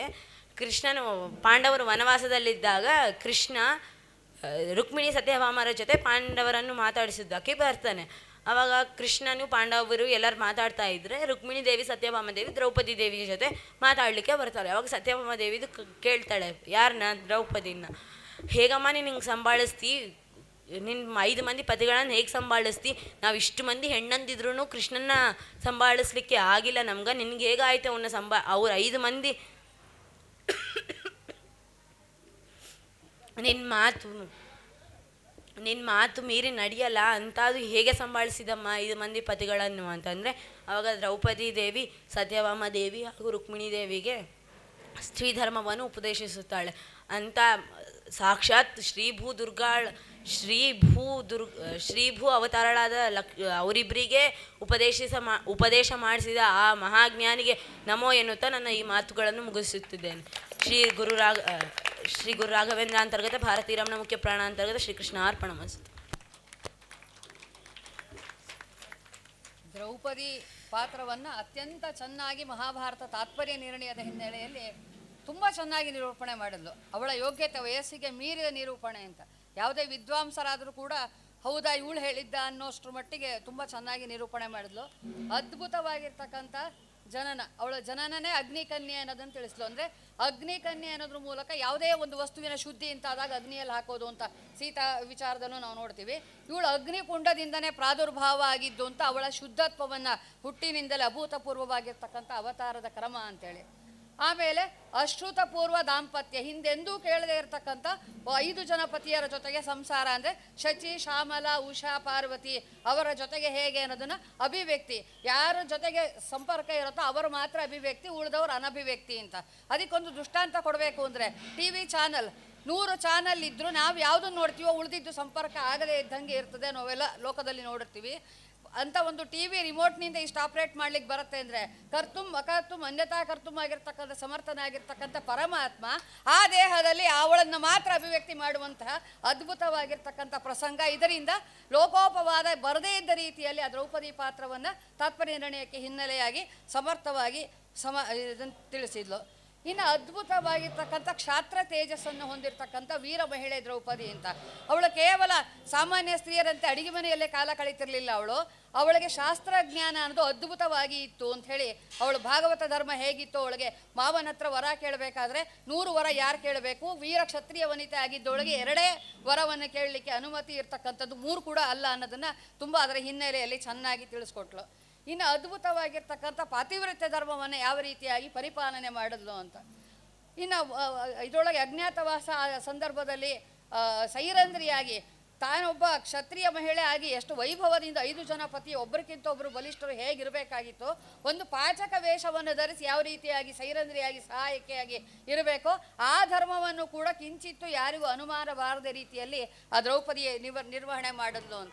ಇನ್ನು ದುಷ್ಟ ಕೀಚಕ, ಉಪಕೀಚಕರ ಎಲ್ಲ ಪ್ರಸಂಗವನ್ನು ಧೈರ್ಯದಿಂದ ಹಿಮ್ಮೆಟ್ಟಿ ಯಾವ ರೀತಿಯಾಗಿ ಸ್ತ್ರೀಯರು ಬದುಕಬೇಕು ಎಂಥದೇ ಆಪತ್ತು ಬಂದರೂ ಕೂಡ ಶಾಸ್ತ್ರಜ್ಞಾನ ಇತ್ತು ಅಂತಾದರೆ, ಭಗವಂತನಲ್ಲಿ ನಂಬಿಕೆ ಇತ್ತು, ಪರಮಾತ್ಮನನ್ನು ಉಪಾಸನೆ ಮಾಡ್ತೀವಿ ಅಂತಾದರೆ ಯಾವ ಕಷ್ಟಗಳು ಬರಲ್ಲ.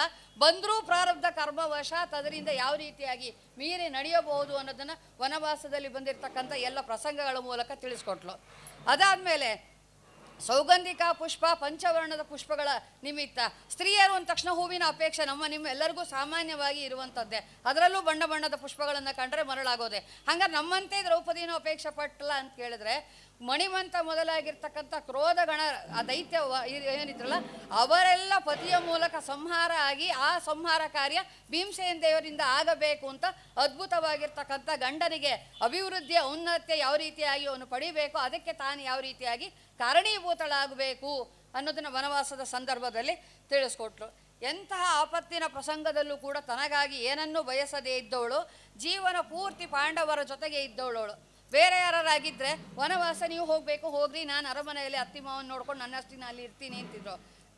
ವನ, ರಾಮಚಂದ್ರ ದೇವರು, ಸೀತಾದೇವಿ ವನವಾಸದಲ್ಲಿ ರಾಮಚಂದ್ರ ದೇವರ ಜೊತೆಗೆ ಹೇಗೆ ಹೋದ್ಲೋ, ಹಾಗೆ ಹೋದವಳು ಅಂತ ಆದರೆ ದ್ರೌಪದಿ.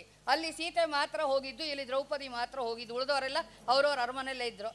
ಹೀಗೆ ಆ ಪ್ರಸಂಗದಲ್ಲೂ ಕೂಡ ಇದು. ಇನ್ನು ಕೌರವರು ವಸ್ತ್ರಾಪಹರಣ ಮಾಡಿದಾಗ ಬೇರೆ ಯಾರಾದರೂ ಆಗಿದ್ದರೆ ಆ ಸಂದರ್ಭದಲ್ಲಿ ಶಾಪ ಕೊಟ್ಬಿಡೋರು. ದೇವತೆಗಳಿಗೆ ಶಾಪ ಕೊಡುವಂತಹ ಪ್ರಸಂಗ ಇತ್ತು ಅಂದರೆ ಅಷ್ಟೆಲ್ಲ ತಪಶಕ್ತಿ ಇತ್ತು. ಆದರೆ ಶಾಪ ಕೊಟ್ಟು ತಾನು ಗಳಿಸಿದ ಪುಣ್ಯವನ್ನು ಹ್ರಾಸ ಮಾಡ್ಕೋಬಾರ್ದು. ಇಂಥ ಒಂದು ಸಣ್ಣ ಪುಟ್ಟ ಪ್ರಸಂಗಕ್ಕೆ ಶಾಪ ಕೊಡುವುದು ಪ್ರವೃತ್ತಿ ಅಲ್ಲ ಅಂತ ಆ ದೀಕ್ಷೆಯನ್ನು ತೋರಿಸ್ದೋಳು ಅಂತಾದರೆ ದ್ರೌಪದಿ. ಇನ್ನು ವನವಾಸದಲ್ಲಿದ್ದಾಗ ಒಬ್ಬರಿಬ್ಬರು ಮನೆಗೆ ಬಂದ್ರೇ ಆತಿಥ್ಯ ಮಾಡೋದು ಕಷ್ಟ. ಅಂಥದ್ದು ತೊಂಬತ್ತು ಸಾವಿರ ಮುನಿಗಳು, ಹತ್ತು ಸಾವಿರ ಯತಿಗಳು, ಪ್ರತಿಯೊಬ್ಬರಿಗೂ ಮುನ್ನೂರು ಜನ ಪರಿಚಾರಕರು, ಇಷ್ಟೆಲ್ಲ ವೃತ್ತಿ ವರ್ಗ ಎಲ್ಲವನ್ನು ಕೂಡ ತಾನೇ ಗಮನಿಸ್ತಿದ್ಲು. ಯಾವಾಗ ಸ್ತ್ರೀ ಆದವಳು, ಮನೆಯಲ್ಲಿರ್ತಕ್ಕಂಥ ಎಲ್ಲರ ಯೋಗಕ್ಷೇಮ ವಿಚಾರ ಮಾಡಿದರೆ ಅವರಿಗೆ ಎಲ್ಲರ ಹೆಸರು ಕೂಡ ಗೊತ್ತಿತ್ತು. ಸಾಕ್ಷಾತ್ ವಿದ್ಯಾಭಿಮಾನಿಯಾಗಿರ್ತಕ್ಕಂಥವಳು ಭಾರತೀ ದೇವಿ ಅವತಾರಳಾಗಿರ್ತಕ್ಕಂಥವಳು. ಆದ್ದರಿಂದ ಮನೆಯಲ್ಲಿರ್ತಕ್ಕಂಥ ಎಲ್ಲ ವೃತ್ತಿ ವರ್ಗದವರು ಪರಿಚಯ ಇತ್ತು. ಅವರ ಯೋಗಕ್ಷೇಮವನ್ನು ಚೆನ್ನಾಗಿ ನೋಡಿಕೊಂಡಿದ್ದರಿಂದ ಅವರೆಲ್ಲ ಪ್ರಾಮಾಣಿಕವಾಗಿ, ನಿಸ್ಪೃಹರಾಗಿ ಕೆಲಸ ಮಾಡಬೇಕಾದ್ರೆ ಯಾವ ರೀತಿಯಾಗಿ ಸ್ತ್ರೀ ಆದವಳು ನಡ್ಕೋಬೇಕು ಅನ್ನೋದನ್ನು ವನವಾಸದ ಪ್ರಸಂಗದಲ್ಲಿ. ಹೀಗೆ ಆ ದ್ರೌಪದಿ ಪಾತ್ರದಿಂದ ಅನೇಕ ಸಂಗತಿಗಳನ್ನು ಹೀಗೆ ವೀರ ಮಹಿಳೆಯರು, ಅಷ್ಟೇ ಅಲ್ಲ ಸ್ತ್ರೀಯರಿಗೆ ಶಾಸ್ತ್ರಜ್ಞಾನ ಬೇಕು ಅಂತ ಅವಳ ಪರಿವಾರದಲ್ಲಿ ಶಾಸ್ತ್ರಜ್ಞಾನಕ್ಕೆ ಸ್ತ್ರೀಯರಿಗೆ ಮಹತ್ವ, ಅದಕ್ಕೆ ಅವಕಾಶವನ್ನು ಕಲ್ಪಿಸಿಕೊಟ್ಟು ಸ್ತ್ರೀಯರು ಧಾರ್ಮಿಕ ಶಿಕ್ಷಣವನ್ನು ಪಡ್ಕೊಂಡ್ರೆ ಮಾತ್ರ ಮನೆಯ ಮನೆತನದ ಎಲ್ಲ ಉದ್ಧಾರ ಸಾಧ್ಯ ಅನ್ನೋದನ್ನು ಅದನ್ನು ಕಟ್ಟುನಿಟ್ಟಾಗಿ ಅದಾಗಲೇಬೇಕು ಕಂಪಲ್ಸರಿ ಇದು. ಸ್ತ್ರೀಯರಿಗೆ ಧಾರ್ಮಿಕ ಶಿಕ್ಷಣ ಕೊಟ್ಟಾಗ ಮಾತ್ರ ಕೇವಲ ಮನೆ ಅಂತಲ್ಲ, ಗಂಡನ ಮನೆ, ಆಮೇಲೆ ಊರು, ರಾಜ್ಯ ಹಿಂಗೆಲ್ಲವೂ ಕೂಡ ಉದ್ಧಾರ ಸಾಧ್ಯ ಅಂತ ಕಾರ್ಯರೂಪಕ್ಕೆ ತಂದೋಳು ಅಂತಾದರೆ ದ್ರೌಪದಿ. ಅದೇ ರೀತಿಯಾಗಿ ಫೈನಾನ್ಸ್ ಮಿನಿಸ್ಟರ್ ಪರಮಾತ್ಮ ಲಕ್ಷ್ಮೀದೇವಿನ ಫೈನಾನ್ಸ್ ಮಿನಿಸ್ಟರ್ ಮಾಡಿದರೆ ಈ ಭೀಮಸೇನ್ ದೇವರು ದ್ರೌಪದಿಯನ್ನು ಫೈನಾನ್ಸ್ ಮಿನಿಸ್ಟರ್ ಹಣ ಸಂಗ್ರಹ ಯಾವ ರೀತಿ, ವಿತರಣೆ ಯಾವ ರೀತಿ ಅಂತ ಜಗತ್ತಿಗೆ ತೋರಿಸ್ಕೊಟ್ಲು. ಈಗ ಅದೇ ಮೋದಿ ಅನುಸರಣೆ ಮಾಡಿ ನಿರ್ಮಲಾ ಸೀತಾರಾಮ್ಗೆ ಫೈನಾನ್ಷಿಯಲ್ ಆಸ್ಪೆಕ್ಟನ್ನು ಕೊಟ್ಟಿದ್ದು. ಹೀಗೆ ಆ ದ್ರೌಪದಿ ಎಲ್ಲ ವರ್ಗದಲ್ಲೂ ಇಂಥ ಫೀಲ್ಡಲ್ಲಿ ಅವಳಿಲ್ಲ ಅಂತಿಲ್ಲ. ಹೀಗೆ ಆ ಪುರಾಣವನ್ನು ಈ ರೀತಿಯಾಗಿ ತಾತ್ಪರ್ಯ ನಿರ್ಣಯದ ಹಿನ್ನೆಲೆಯಲ್ಲಿ ಅದನ್ನು ಅಧ್ಯಯನ ಮಾಡಿದ್ರೆ ಒಬ್ಬ ಸ್ತ್ರೀ ಯಾವ ರೀತಿಯಾಗಿ ನಡ್ಕೋಬೇಕು, ತಾನೆಲ್ಲ ಏನು ಅನುಷ್ಠಾನ ಮಾಡಬೇಕು, ಮಕ್ಕಳಿಗೆ ಯಾವ ರೀತಿಯಾಗಿ ಸಂಸ್ಕಾರವನ್ನು ಕೊಡಬೇಕು ಸುತ್ತಮುತ್ತಲಲ್ಲಿ ಇರ್ತಕ್ಕಂಥ ಜನರ ಜೊತೆಗೆ ಸರಸ ಸಲ್ಲಾಪ ಮಾಡಿದ್ರು. ಅವಳು ಹೇಳಿದ್ಲಲ್ಲ, ಸತ್ಯಭಾಮ ರುಕ್ಮಿಣಿ ಕೃಷ್ಣ ಹಗಲೆಲ್ಲ ಬರ್ತಿದ್ದ, ಪಾಂಡವರು ವನವಾಸದಲ್ಲಿದ್ದಾಗ ಭೇಟಿ ಆಗ್ಬೇಕಾದ್ರೆ ಒಂದು ಸಲ ಸತ್ಯಭಾಮೆಯನ್ನು ಕರ್ಕೊಂಡು ಬಂದಿದ್ದ. ನಾವು ನೀವು ಹರಟಿ ಹೊಡಿತೀವಲ್ಲ, ಹಂಗೆ ಹರಟಿ ಹೊಡಿಲಿಲ್ಲ. ಗಂಡನನ್ನು ವಶ ಮಾಡ್ಕೋಬೇಕು ಅಂತ ಏನು ಮಾಡಿದಿ ಅಂತ ಕೇಳಿದ್ರೆ, ಮಂತ್ರ ಅಲ್ಲ, ತಂತ್ರ ಅಲ್ಲ, ಅದೆಲ್ಲ ಶಾಸ್ತ್ರ ವಿರುದ್ಧವಾಗಿದ್ದು ಕೇವಲ ಭಗವಂತನಲ್ಲಿ ಭಕ್ತಿ ಪತಿ ಅಂತರ್ಗತನಾಗಿರ್ತಕ್ಕಂಥ ಪರಮಾತ್ಮನನ್ನು ಉಪಾಸನೆ ಮಾಡೋದು ಅವನಿಗೆ ಹಿತಕರವಾದ ಶಾಸ್ತ್ರ ವಿರುದ್ಧವಲ್ಲದ ಕರ್ಮಗಳನ್ನು ಮಾಡಿದರೆ ಮಾತ್ರ ಏನನ್ನಾದರೂ ಸಾಧಿಸೋದಕ್ಕೆ ಸಾಧ್ಯ ಅಂತ ಸಾಕ್ಷಾತ್ ಭೂರೂಪದ ಸತ್ಯಭಾಮೆಗೆ ತಾನು ಅದನ್ನು ಒಪ್ಪಿಸಿದ್ಲು. ಹೀಗೆ ಎಲ್ಲ ಅಂಗಗಳಲ್ಲೂ ಕೂಡ ದ್ರೌಪದಿ ನಮಗೆ ವಿಶೇಷವಾಗಿ ಮಾರ್ಗದರ್ಶನವನ್ನು ಮಾಡಿದ್ಲು. ಹಾಗೆ ಇನ್ನೂ ಬೇಕಾದಷ್ಟು ಪುರಾಣ ಜನ ಸ್ತ್ರೀಯರ ಪಾತ್ರಗಳಿದೆ. ಇಂಥ ಅದ್ಭುತವಾಗಿರ್ತಕ್ಕಂಥ ವೇದಿಕೆಯನ್ನು ಕೊಟ್ಟು ಸ್ತ್ರೀಯರು ಯಾವುದರಲ್ಲೂ ಕಡಿಮೆ ಇಲ್ಲ ಅಂತ ತೋರ್ಸೋಕ್ಕೆ ಈ ಮಹಿಳಾ ಗೋಷ್ಠಿ ಹರಿದಾಸ ಹಬ್ಬ ಮೊದಲೇ ಹೇಳಿದೆ. ಹರಿದಾಸರ ಸಾಹಿತ್ಯ ರಚನೆ ಆಗಿದ್ದೇ ಸ್ತ್ರೀಯರ ಉದ್ಧಾರಕ್ಕಾಗಿ ಅಂತ ಅದನ್ನು ಸಮರ್ಥವಾಗಿ ಇವರೆಲ್ಲರೂ ಕೂಡ ನಿರ್ವಹಿಸಿದರು. ಅದನ್ನು ಅಂತರ್ಯಾಮಿಯಾಗಿರ್ತಕ್ಕಂಥ ಪತ್ಯಂತರ್ಗತ ಪರಮಾತ್ಮ ಅವರ ಗುರುಗಳ ಅಂತರ್ಯಾಮಿಯಾಗಿರೋ ಪರಮಾತ್ಮನಿಗೆ ಎಲ್ಲರ ಮೂಲಕವಾಗಿ ಇದನ್ನು ಅರ್ಪಣೆ ಮಾಡ್ತೀನಿ. ಶ್ರೀಕೃಷ್ಣ ಅರ್ಪಣೆ ಅಷ್ಟು. ಏನಾರು ಲೋಪದೋಷಗಳಿದ್ದರೆ ತಿದ್ದಿ ಮಾರ್ಗದರ್ಶನ ಮಾಡಬೇಕು ಅಂತ ಗುರುಗಳಲ್ಲಿ ಪ್ರಾರ್ಥನೆ. ಹರೇ ಶ್ರೀನಿವಾಸ, ನಾನು ಮಾತೇ ಹೊರಡ್ತಾ ಇಲ್ಲ ಖರೆ ಹೇಳ್ತೀನಿ. ಪಂಡಿತರ ಉಪನ್ಯಾಸಗಳು ಅವು ಅವು ಅವು ದೊಡ್ಡಿರ್ಬೋದು, ಆದರೆ ಇವತ್ತಿನವರೆಗೆ ಯಾರ್ಯಾರು ಪಂಡಿತರು ಉಪನ್ಯಾಸ ಮಾಡಿದ್ದಾರೆ ಎಲ್ಲ ಒಂದು ತೂಕ ಆದರೆ ಈ ನಮ್ಮ ನಾಲ್ಕು ಮಂದಿ ಮಹಿಳೆಯರು ಮಾಡಿದ್ರಲ್ಲ ಭಾಳ ವಿಷ ರಿಯಲ್ ನನಗಂತೂ ಆ ಮೊದಲನೇವಳು ಮಾತಾಡಿದಾಗ, ಧ್ರುವನ ಬಗ್ಗೆ ಮಾತಾಡಿದಾಗ, ಸಾವಿತ್ರಿಯ ಬಗ್ಗೆ ಮಾತಾಡಿದಾಗ ಹೃದಯ ಕದಲಿತು ನಂಗೆ. ನಿಜವಾಗಿ ಬಹಳ ಸಂತೋಷ. ಈ ರೀತಿ ನೀವೆಲ್ಲರೂ ಬೆಳಿಬೇಕು. ನಿಮ್ಮಿಂದ ನನಗಂತೂ ಶ್ರೀನಿವಾಸ ತೋರಿಸಿದ ಮಾರ್ಗ ಯಾವುದು ಅಂದರೆ ನೀನು ಹಿಂದೂ ಧರ್ಮ ಉದ್ಧಾರ ಆಗಬೇಕು, ಅದು ಬೆಳಿಬೇಕು, ಸಂಘಟನೆ ಆಗಬೇಕು.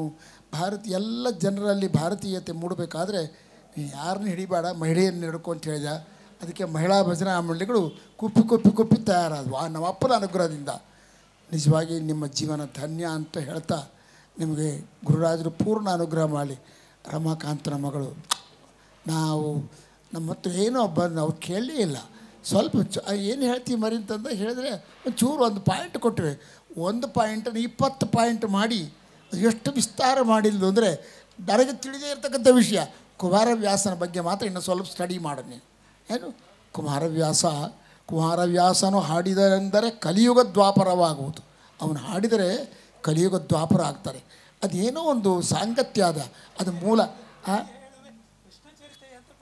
ತಿಳಿಯ ಹೇಳುವೆ ಕೃಷ್ಣ ಚರಿತೆ. ಕೃಷ್ಣನ ಕಥೆ ಹೇಳ್ತೀನಿ ಅಂತಾನೆ ಹೊರತಾಗಿ ಪಾಂಡವರ ಕಥೆ ಹೇಳ್ತೀನಿ ಅಂತಂಬಲ್ಲ. ಆ ಕುಮಾರವ್ಯಾಸನ ಆ ಕಥೆಯ ಕಲ್ಪನೆಯ ಹಿನ್ನೆಲೆಯಲ್ಲಿ ಏನಾದರೂ ರಹಸ್ಯ ಅದನ್ನು ಅದು ಹಿಂದೆ ಮುಂದೆ ನೋಡಬೇಕು. ಇನ್ನೆಲ್ಲಿ ಅದನ್ನು ಹೇಳಬೇಡ ಅಂತ ಹೇಳ್ತಾ, ನನ್ನ ಮಗಳಾದ ಕಾರಣ ನನಗೆ ಉಪದೇಶ ಮಾಡಿ, ನಿನ್ನೇನಿಲ್ಲ. ಇವು ಮೂರು ಮಂದಿ ಆ ಹುಡುಗಿ ಬಂಗಾರವಾಗಿ, ಎಲ್ಲ, ಎಲ್ಲರೂ ಎಲ್ಲರೂ ಚೆನ್ನಾಗಿ ಹೇಳಿದ್ರಿ ಅಂತ ಹೇಳ್ತಾ, ಗುರುರಾಜರು, ನಿಮಗೆ ಪೂರ್ಣ ಅನುಗ್ರಹ ಮಾಡಿ. ಹರೇ ಶ್ರೀನಿವಾಸ. ನಮ್ಮ ಸಾರ್ ಮಾತಾಡಿದ ಮೇಲೆ ಇನ್ನು ನಾನು ಮಾತಾಡಬೇಕಾದ ಕೆಲಸ ಏನಿಲ್ಲ. ಆದರೆ ಸುಕನ್ಯಾ ಆಗ್ಬೋದು, ಸುನೀತಿ ಆಗಬಹುದು ಸಾವಿತ್ರಿ ಆಗಬಹುದು ಇವರೆಲ್ಲರೂ ಅದ್ಭುತವಾದಂಥ ಸ್ತ್ರೀಮೂರ್ತಿಯರು. ಸುನೀತಿ ಮಗನ್ನೇ ಅಡವಿಗೆ ಅಟ್ಟಿದ್ಲು. ಸುಕನ್ಯಾ ಮುದುಕನ್ನ ಮದುವೆ ಮಾಡಿಕೊಂಡು ಅವನ್ನೇ ಯಂಗ್ ಮಾಡಿದ್ಲು. ಹೆಂಗೆ ಮಾಡಿದ್ಲು ಒಂದು ಕ್ವಶನ್ ಅಲ್ಲ. ವೈವಾಹಿ ಹೆಂಗೆ ಮಾಡಿದ್ಲು. ಅಂದರೆ ಹೆಂಡತಿಯ ಲವಲವಿಕೆಯಿಂದ ಗಂಡನ ಮುದುಕತನ ಕಳೀಬಹುದು ಅನ್ನೋ ಸೈಂಟಿಫಿಕ್ ಡೆವಲಪ್ಮೆಂಟ್ ನಮಗೆ ಅದರಲ್ಲಿ ಕಾಣಿಸ್ತದೆ. ಹಾಂ, ಇವಳು ಆ ಏನು ಇಷ್ಟು ನೀ ನಡೆಯತ್ಲಾಗ ಕೆಲ್ಸಕ್ಕೆ ಬರ್ತಾನೆ ಅಂದ್ಬಿಟ್ರೆ ಅವನು ಒಳ್ಳೆ ಯುವಕನಾದರೂ ಕೂಡ ಮುದ್ರಕಂಡು ಮಲ್ಕೊಂಬಿಡ್ತಾನೆ ಅವನು. ಯಾವುದಕ್ಕೂ ಕೆಲಸಕ್ಕೆ ಬರೋದಲ್ಲ ಅವನು. ಆ ಸೂಕ್ಷ್ಮ ನಾವು ಸುಕನ್ಯೆಯಲ್ಲಿ ಕಾಣಬಹುದು. ಈ ಯಮನ ಹಿಂದೆ ಬಿದ್ದುಬಿಟ್ಲಪ್ಪ ಈಕೆ. ಎರಡನೇ ಲೈನ್ನ ಕೂತಾಳಲ್ಲ ಆಕೆ. ಯಮನಿಂದೆ ಬಿದ್ದು ಗಂಡನ ಹಿಂದಕ್ಕೆ ಎಳ್ಕೊಂಬಂದ್ಲು. ನಾನು ಸಾಯ್ತೀನಿ. ಅಂಬೋರು ಭಾಳ ಮಂದಿ. ಸಂಸಾರದಲ್ಲಿ ನಾನು ತಚ್ಕೊಳ್ಳಾರೆ ನೀನು ಸಾಯ್ ಸತ್ತು ಬಿಡ್ತೀನಿ. ಅಂದರೆ ಎಲ್ಲೆಲ್ಲದ ಸಾಯ್ತಿದ್ದೆ? ನಾನಿರೋ ತನಕ ನಿನ್ನ ಸಾಯಿ ಗುಡಿಸೋದಲ್ಲ, ಅಂಬೋ ಹೆಣ್ಣಿನ ಒಂದು ಕೆಚ್ಚದೆ ಅಲ್ಲಿ ನಮಗೆ ಕಾಣಿಸ್ತದೆ. ಮಗುವಿನ ಕೂಡ ಸ್ಕೂಲಿಗೆ ಕಳಿಸೋದಲ್ಲಮ್ಮ? ಏ, ಬ್ಯಾಡ್ ಬಿಡು ಸುಮ್ಮನೆ ಕಷ್ಟ ಅಂತ. ಇಲ್ಲ, ಅಡವಿಗೆ ಕಳಿಸಿದ್ಲು ನೋಡ್ರಿ. ಆಫ್ಟರ್ ಆಲ್ ಸ್ಕೂಲಿಗೆ ಕಳಿಸ್ಲಿಕ್ಕೂ ಕೂಡ ಭಯಪಡೋ ತಾಯಂದಿರು ಇದ್ದಾರೆ ರೀ, ನೀವು ಕೂಡ ಹೋಗಿ ಅಲ್ಲಿ ಕ್ಲಾಸ್ ಹತ್ರ ಮಧ್ಯಾಹ್ನ ತನಕ ಇದ್ದು ಬರೋರು ಅಂತ ಗಂಡನ ಪ್ರಾಣ ತೆಗೆಯೋರು ಇದ್ದಾರೆ ಅಂಥದ್ರಲ್ಲಿ ಈ ಫಸ್ಟ್ ಟ್ರ್ಯಾಕ್ ಕೂತಿರೋ ಸುನೀತಿ ಏನಮ್ಮ ಎಷ್ಟು ಚೆನ್ನಾಗಿ ಮಗನ ಅಡುಗೆ ಕಳಿಸಿ ಧ್ರುವ ಮಂಡಲಕ್ಕೆ ಏರಿಸ್ಲು. ಇನ್ನು ಲಾಸ್ಟ್ ಅದು ಅಗ್ನಿ ಅದು. ಅಗ್ನಿಯಲ್ಲಿ ವಿಸ್ಫುಲಿಂಗಗಳು ಅಂತ ಬರ್ತವೆ. ಅಂದರೆ ಕಿರಣ ಕಿಡಿಗಳು ಕಿಡಿಗಳು ಬರ್ತವೆ. ನಾವು ಏನೋ ಎರಡು ಕುಡಿ ಕುಡಿ ಅಂತ ಏನೋ ಸ್ವಲ್ಪ ಅಮ್ಮೋ, ಇದು ಭಯಂಕರ ಕಿಡಿ ಅದು. ಏನೇನೋ ಕಲ್ಪನೆಗಳು ತಂದಲು, ನಾನು ಒಂದೇ ವಿಷಯ ಹೇಳಿದೆ.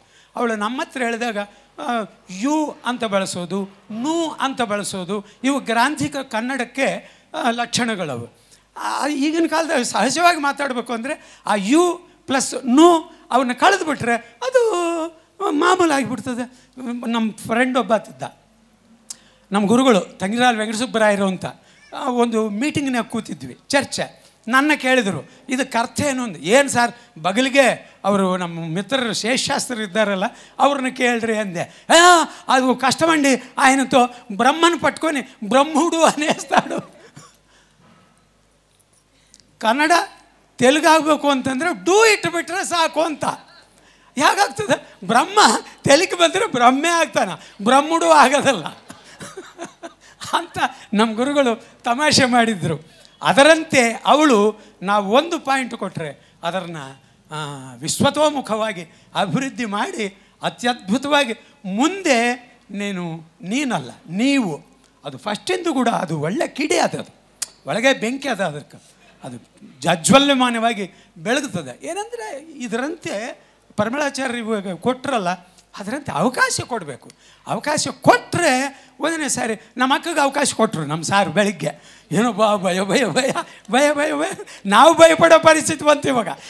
ಇನ್ನೊಂದು ಮೂರು ವರ್ಷ ಆದರೆ, ಸಾರ್, ನೀವು ಬಗಲಿಗೆ ಕೊಡ್ರಿ. ಆಚಾರ್ಯ, ನಾವು, ನಮ್ಮ ಅಮ್ಮನವ್ರು ಕೂಡ ನಾವು ಸುಪ್ರಭಾತ ಮಾಡಿಸ್ಕೊಂತೀವಿ ಅಂತ ಭಜನೆ ಮಾಡಿದವರು ಅಂತಾರೆ ನಂಬೋ ಪರಿಸ್ಥಿತಿಯಲ್ಲಿ ಅಷ್ಟು ಅದ್ಭುತವಾಗಿ ನಮ್ಮಕ್ಕ ಮಾತಾಡಿ ಬಿಡಬೇಕು.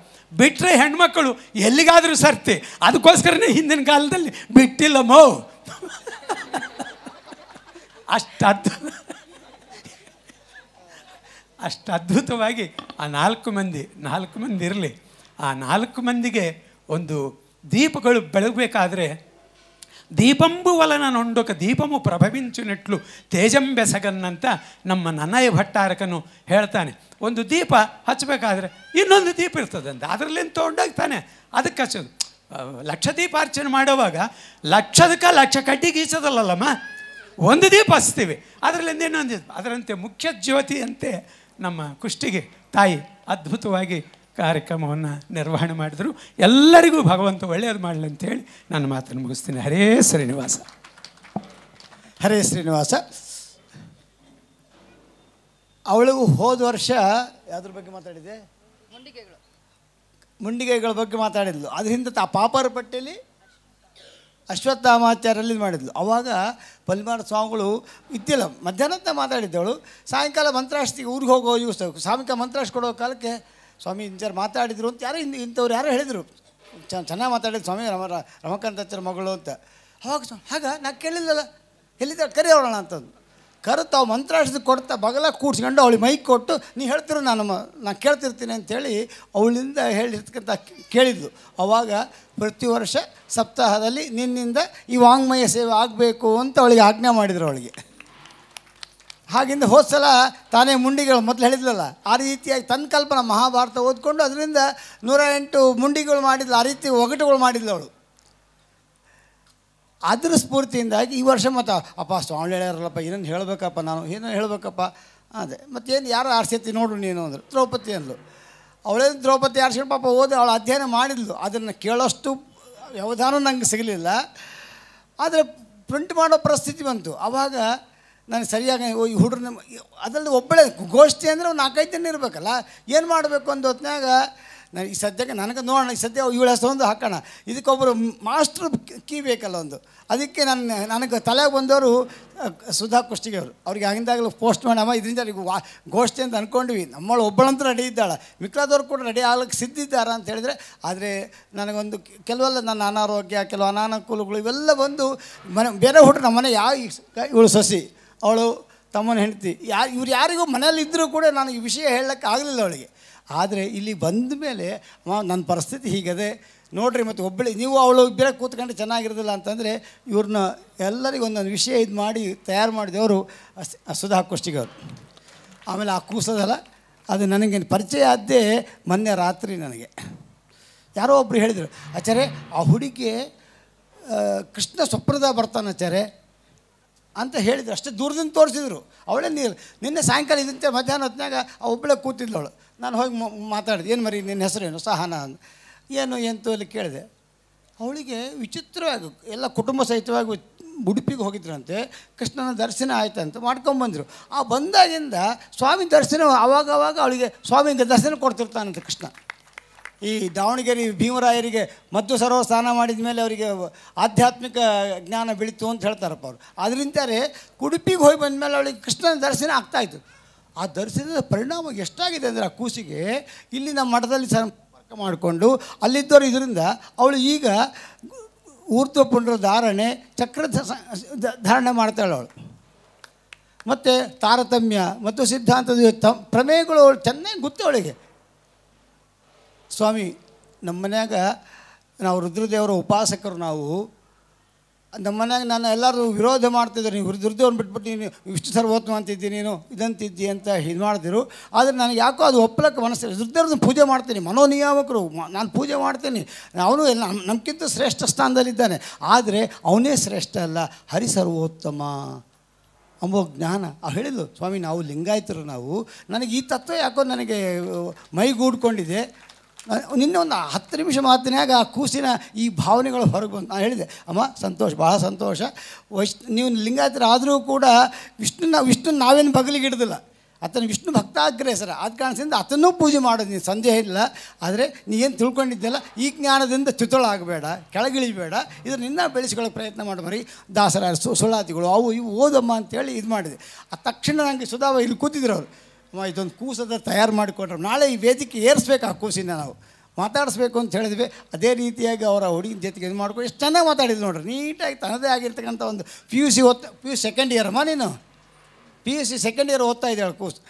ಈ ರೀತಿಯಾಗಿ ನಮ್ಮ ಭಾರತೀಯ ಸಂಸ್ಕೃತಿ ಪ್ರತಿಯೊಬ್ಬರಲ್ಲೂ ಕೂಡ ಅದು ಪಸರಿಸಿದಾಗ ಅದರ ಮಹತ್ವ ಏನು ಅಂತ ಗೊತ್ತಾಗ್ತದೆ. ಇವತ್ತು ನೀವು ಇವತ್ತು ಅವ್ರ ಮನೆಯಲ್ಲಿ ಹರಿ ಸರ್ವೋತ್ತಮ ಅಂದರೂ ಕೂಡ ಯಾರು ಚಕಾರ ಪ್ರಾರಂಭದಲ್ಲಿ ವಿರೋಧ ಬಂತು ಅಂತ ಹೇಳ್ತಾಳೆ ಅವಳು. ಆದರೆ ಈಗ ಯಾರು ಕೂಡ ಅವಳ ಅವಳು ನಂಬಿದ ದೈವಕ್ಕೆ ಜೈ ಅಂತ ಅವರು ಕೂಡ ಸಮ್ಮತಿಯಿಂದ ಅವಳ ಉಪಾಸನೆಗೆ ಅವಕಾಶ ಕೊಟ್ಟಿದ್ದಾರೆ ಅದ ಕಾರಣದಿಂದ ನಾವು ಎಲ್ಲ ಕೂಡ ರಾಮರಾಜ್ಯ ಸ್ಥಾಪನೆ ಮಾಡಬೇಕಾದ್ರೆ ಈ ರೀತಿಯ ನಿಜವಾಗಿರ್ತಕ್ಕಂಥ ತತ್ವ ಪ್ರಚಾರ ನಮ್ಮ ಮಕ್ಕಳಿಂದ ಹಿಡ್ಕೊಂಡು ಎಲ್ಲರಲ್ಲೂ ಕೂಡ ಆಗುವಂತೆ ಪ್ರತಿಯೊಬ್ಬ ವ್ಯಕ್ತಿಯು ಯಾವುದೋ ಸಂಸ್ಥೆ, ಯಾವುದೋ ಮಠ ಮಾಡಬೇಕು ಅಂತ ಕಾಯಬಾರ್ದು. ಪ್ರತಿಯೊಬ್ಬರೂ ಕೂಡ ಇದನ್ನು ಪ್ರಯತ್ನ ಮಾಡಿದಾಗ ನಿಜವಾಗಲೂ ಕೂಡ ನಮ್ಮದ ದೇಶ, ಧರ್ಮ ದೇಶವಾಗ್ತದೆ ರಾಮರಾಜ್ಯವಾಗ್ತದೆ ಅಂತ ಹೇಳ್ತಾ ಈ ಒಂದು ಕಾರ್ಯಕ್ರಮದಲ್ಲಿ ಭಾಗವಹಿಸಿರ್ತಕ್ಕಂಥ ಹಿರಿಯರಿಗೂ ಮತ್ತು ಎಲ್ಲರನ್ನು ತಯಾರು ಮಾಡಿ ಗೋಷ್ಠಿಗೆ ಒಂದು ಅಂದ ಬರುವಂತೆ ಮಾಡಿರ್ತಕ್ಕಂಥ ಶ್ರೀಮತಿ ಕುಷ್ಟಗಿ ಸರ್, ಆಚಾರ್ಯ, ನಿಮ್ಮ ಹೆಸರೇನು ರೀ ಅಮ್ಮ, ನಿಮ್ಮ ಬಾಯಿಂದ ಹೇಳ್ರಮ್ಮ.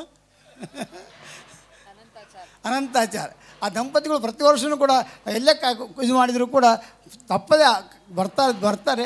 ಆ ಒಂದು ದೃಷ್ಟಿಯಿಂದಲೂ ಕೂಡ ಅವರಿಗೆ ನಾವು ಧನ್ಯವಾದ ಅರ್ಪಣೆ ಮಾಡ್ತಾ ಇದುವರೆಗೂ ಎಲ್ಲರೂ ಕೂತು ಸಹನೆಯಿಂದ ಮಕ್ಕಳು ಮಾಡ್ತಕ್ಕಂಥ ಕಾರ್ಯಕ್ರಮದಲ್ಲಿ ನೀವೆಲ್ಲರೂ ಆಶೀರ್ವಾದ ಮಾಡಿದ್ದಕ್ಕಾಗಿ ನಿಮ್ಮೆಲ್ಲರಿಗೂ ಕೂಡ ನಮನಗಳನ್ನು ಹೇಳ್ತಾ ಸಂಜೆ ಶ್ರೀಪಾದಂಗಳವ್ರ ವೇದಿಕೆ ಬಂದ ಮೇಲೆ ನಿಮ್ಮೆಲ್ಲರಿಗೂ ಮಂತ್ರಾಸ್ತಿ ಕೊಡಿಸ್ತೇವೆ. ಹರೇ ಶ್ರೀನಿವಾಸ.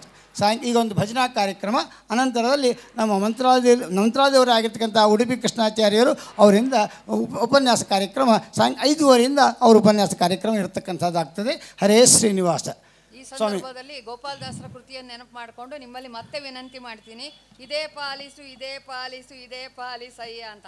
ಹಾಗಲೆಲ್ಲ ಈ ಥರ ಅವಕಾಶ ಕೊಟ್ಟು ಇನ್ನೂ ಹತ್ತಾರು ಮಕ್ಕಳು ಈ ಮಾರ್ಗದಲ್ಲಿ ಬರ್ತಾರೆ ಅಂತ. ನಿಮ್ಮಂಥ ತಾಯಂದಿರು ಮುಂದೆ ಬಂದರೆ ಪ್ರತಿ ವರ್ಷವೂ ಕೂಡ ಎರಡು ದಿವಸ ಮಹಿಳೆಯರಿಗಾಗಿ ಮಧ್ಯಾಹ್ನದ ವೇದಿಕೆಯನ್ನು ಮೀಸಲಾಗಿ ಇಡಲಿಕ್ಕೆ ನಾವು ಸಿದ್ಧರಿದ್ದೀವಿ. ಹರೇ ಶ್ರೀನಿವಾಸ.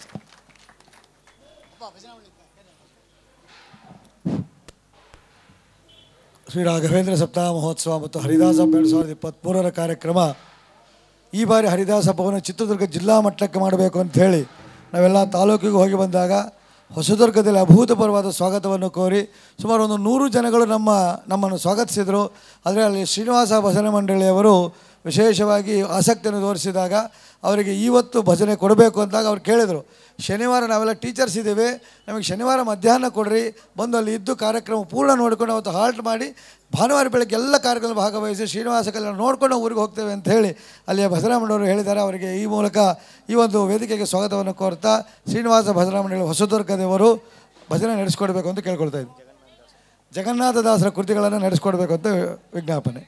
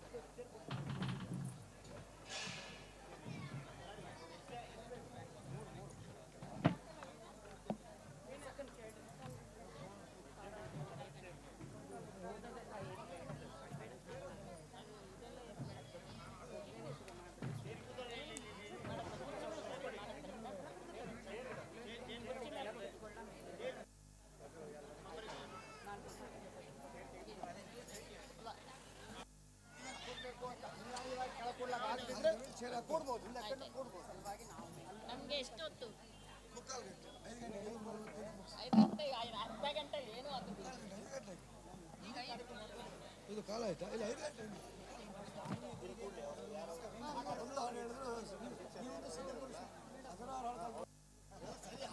ಅಷ್ಟೊಂದು ಅವಕಾಶ ಇಲ್ಲ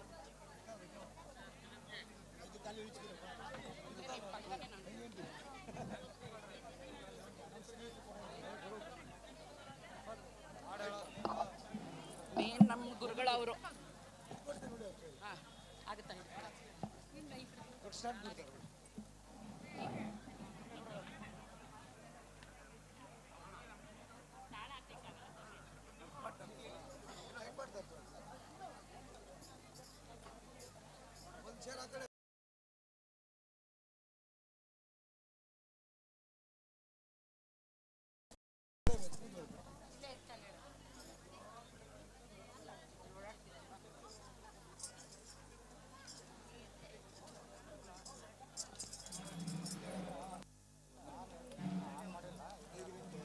ಐದು ಗಂಟೆಗೆ?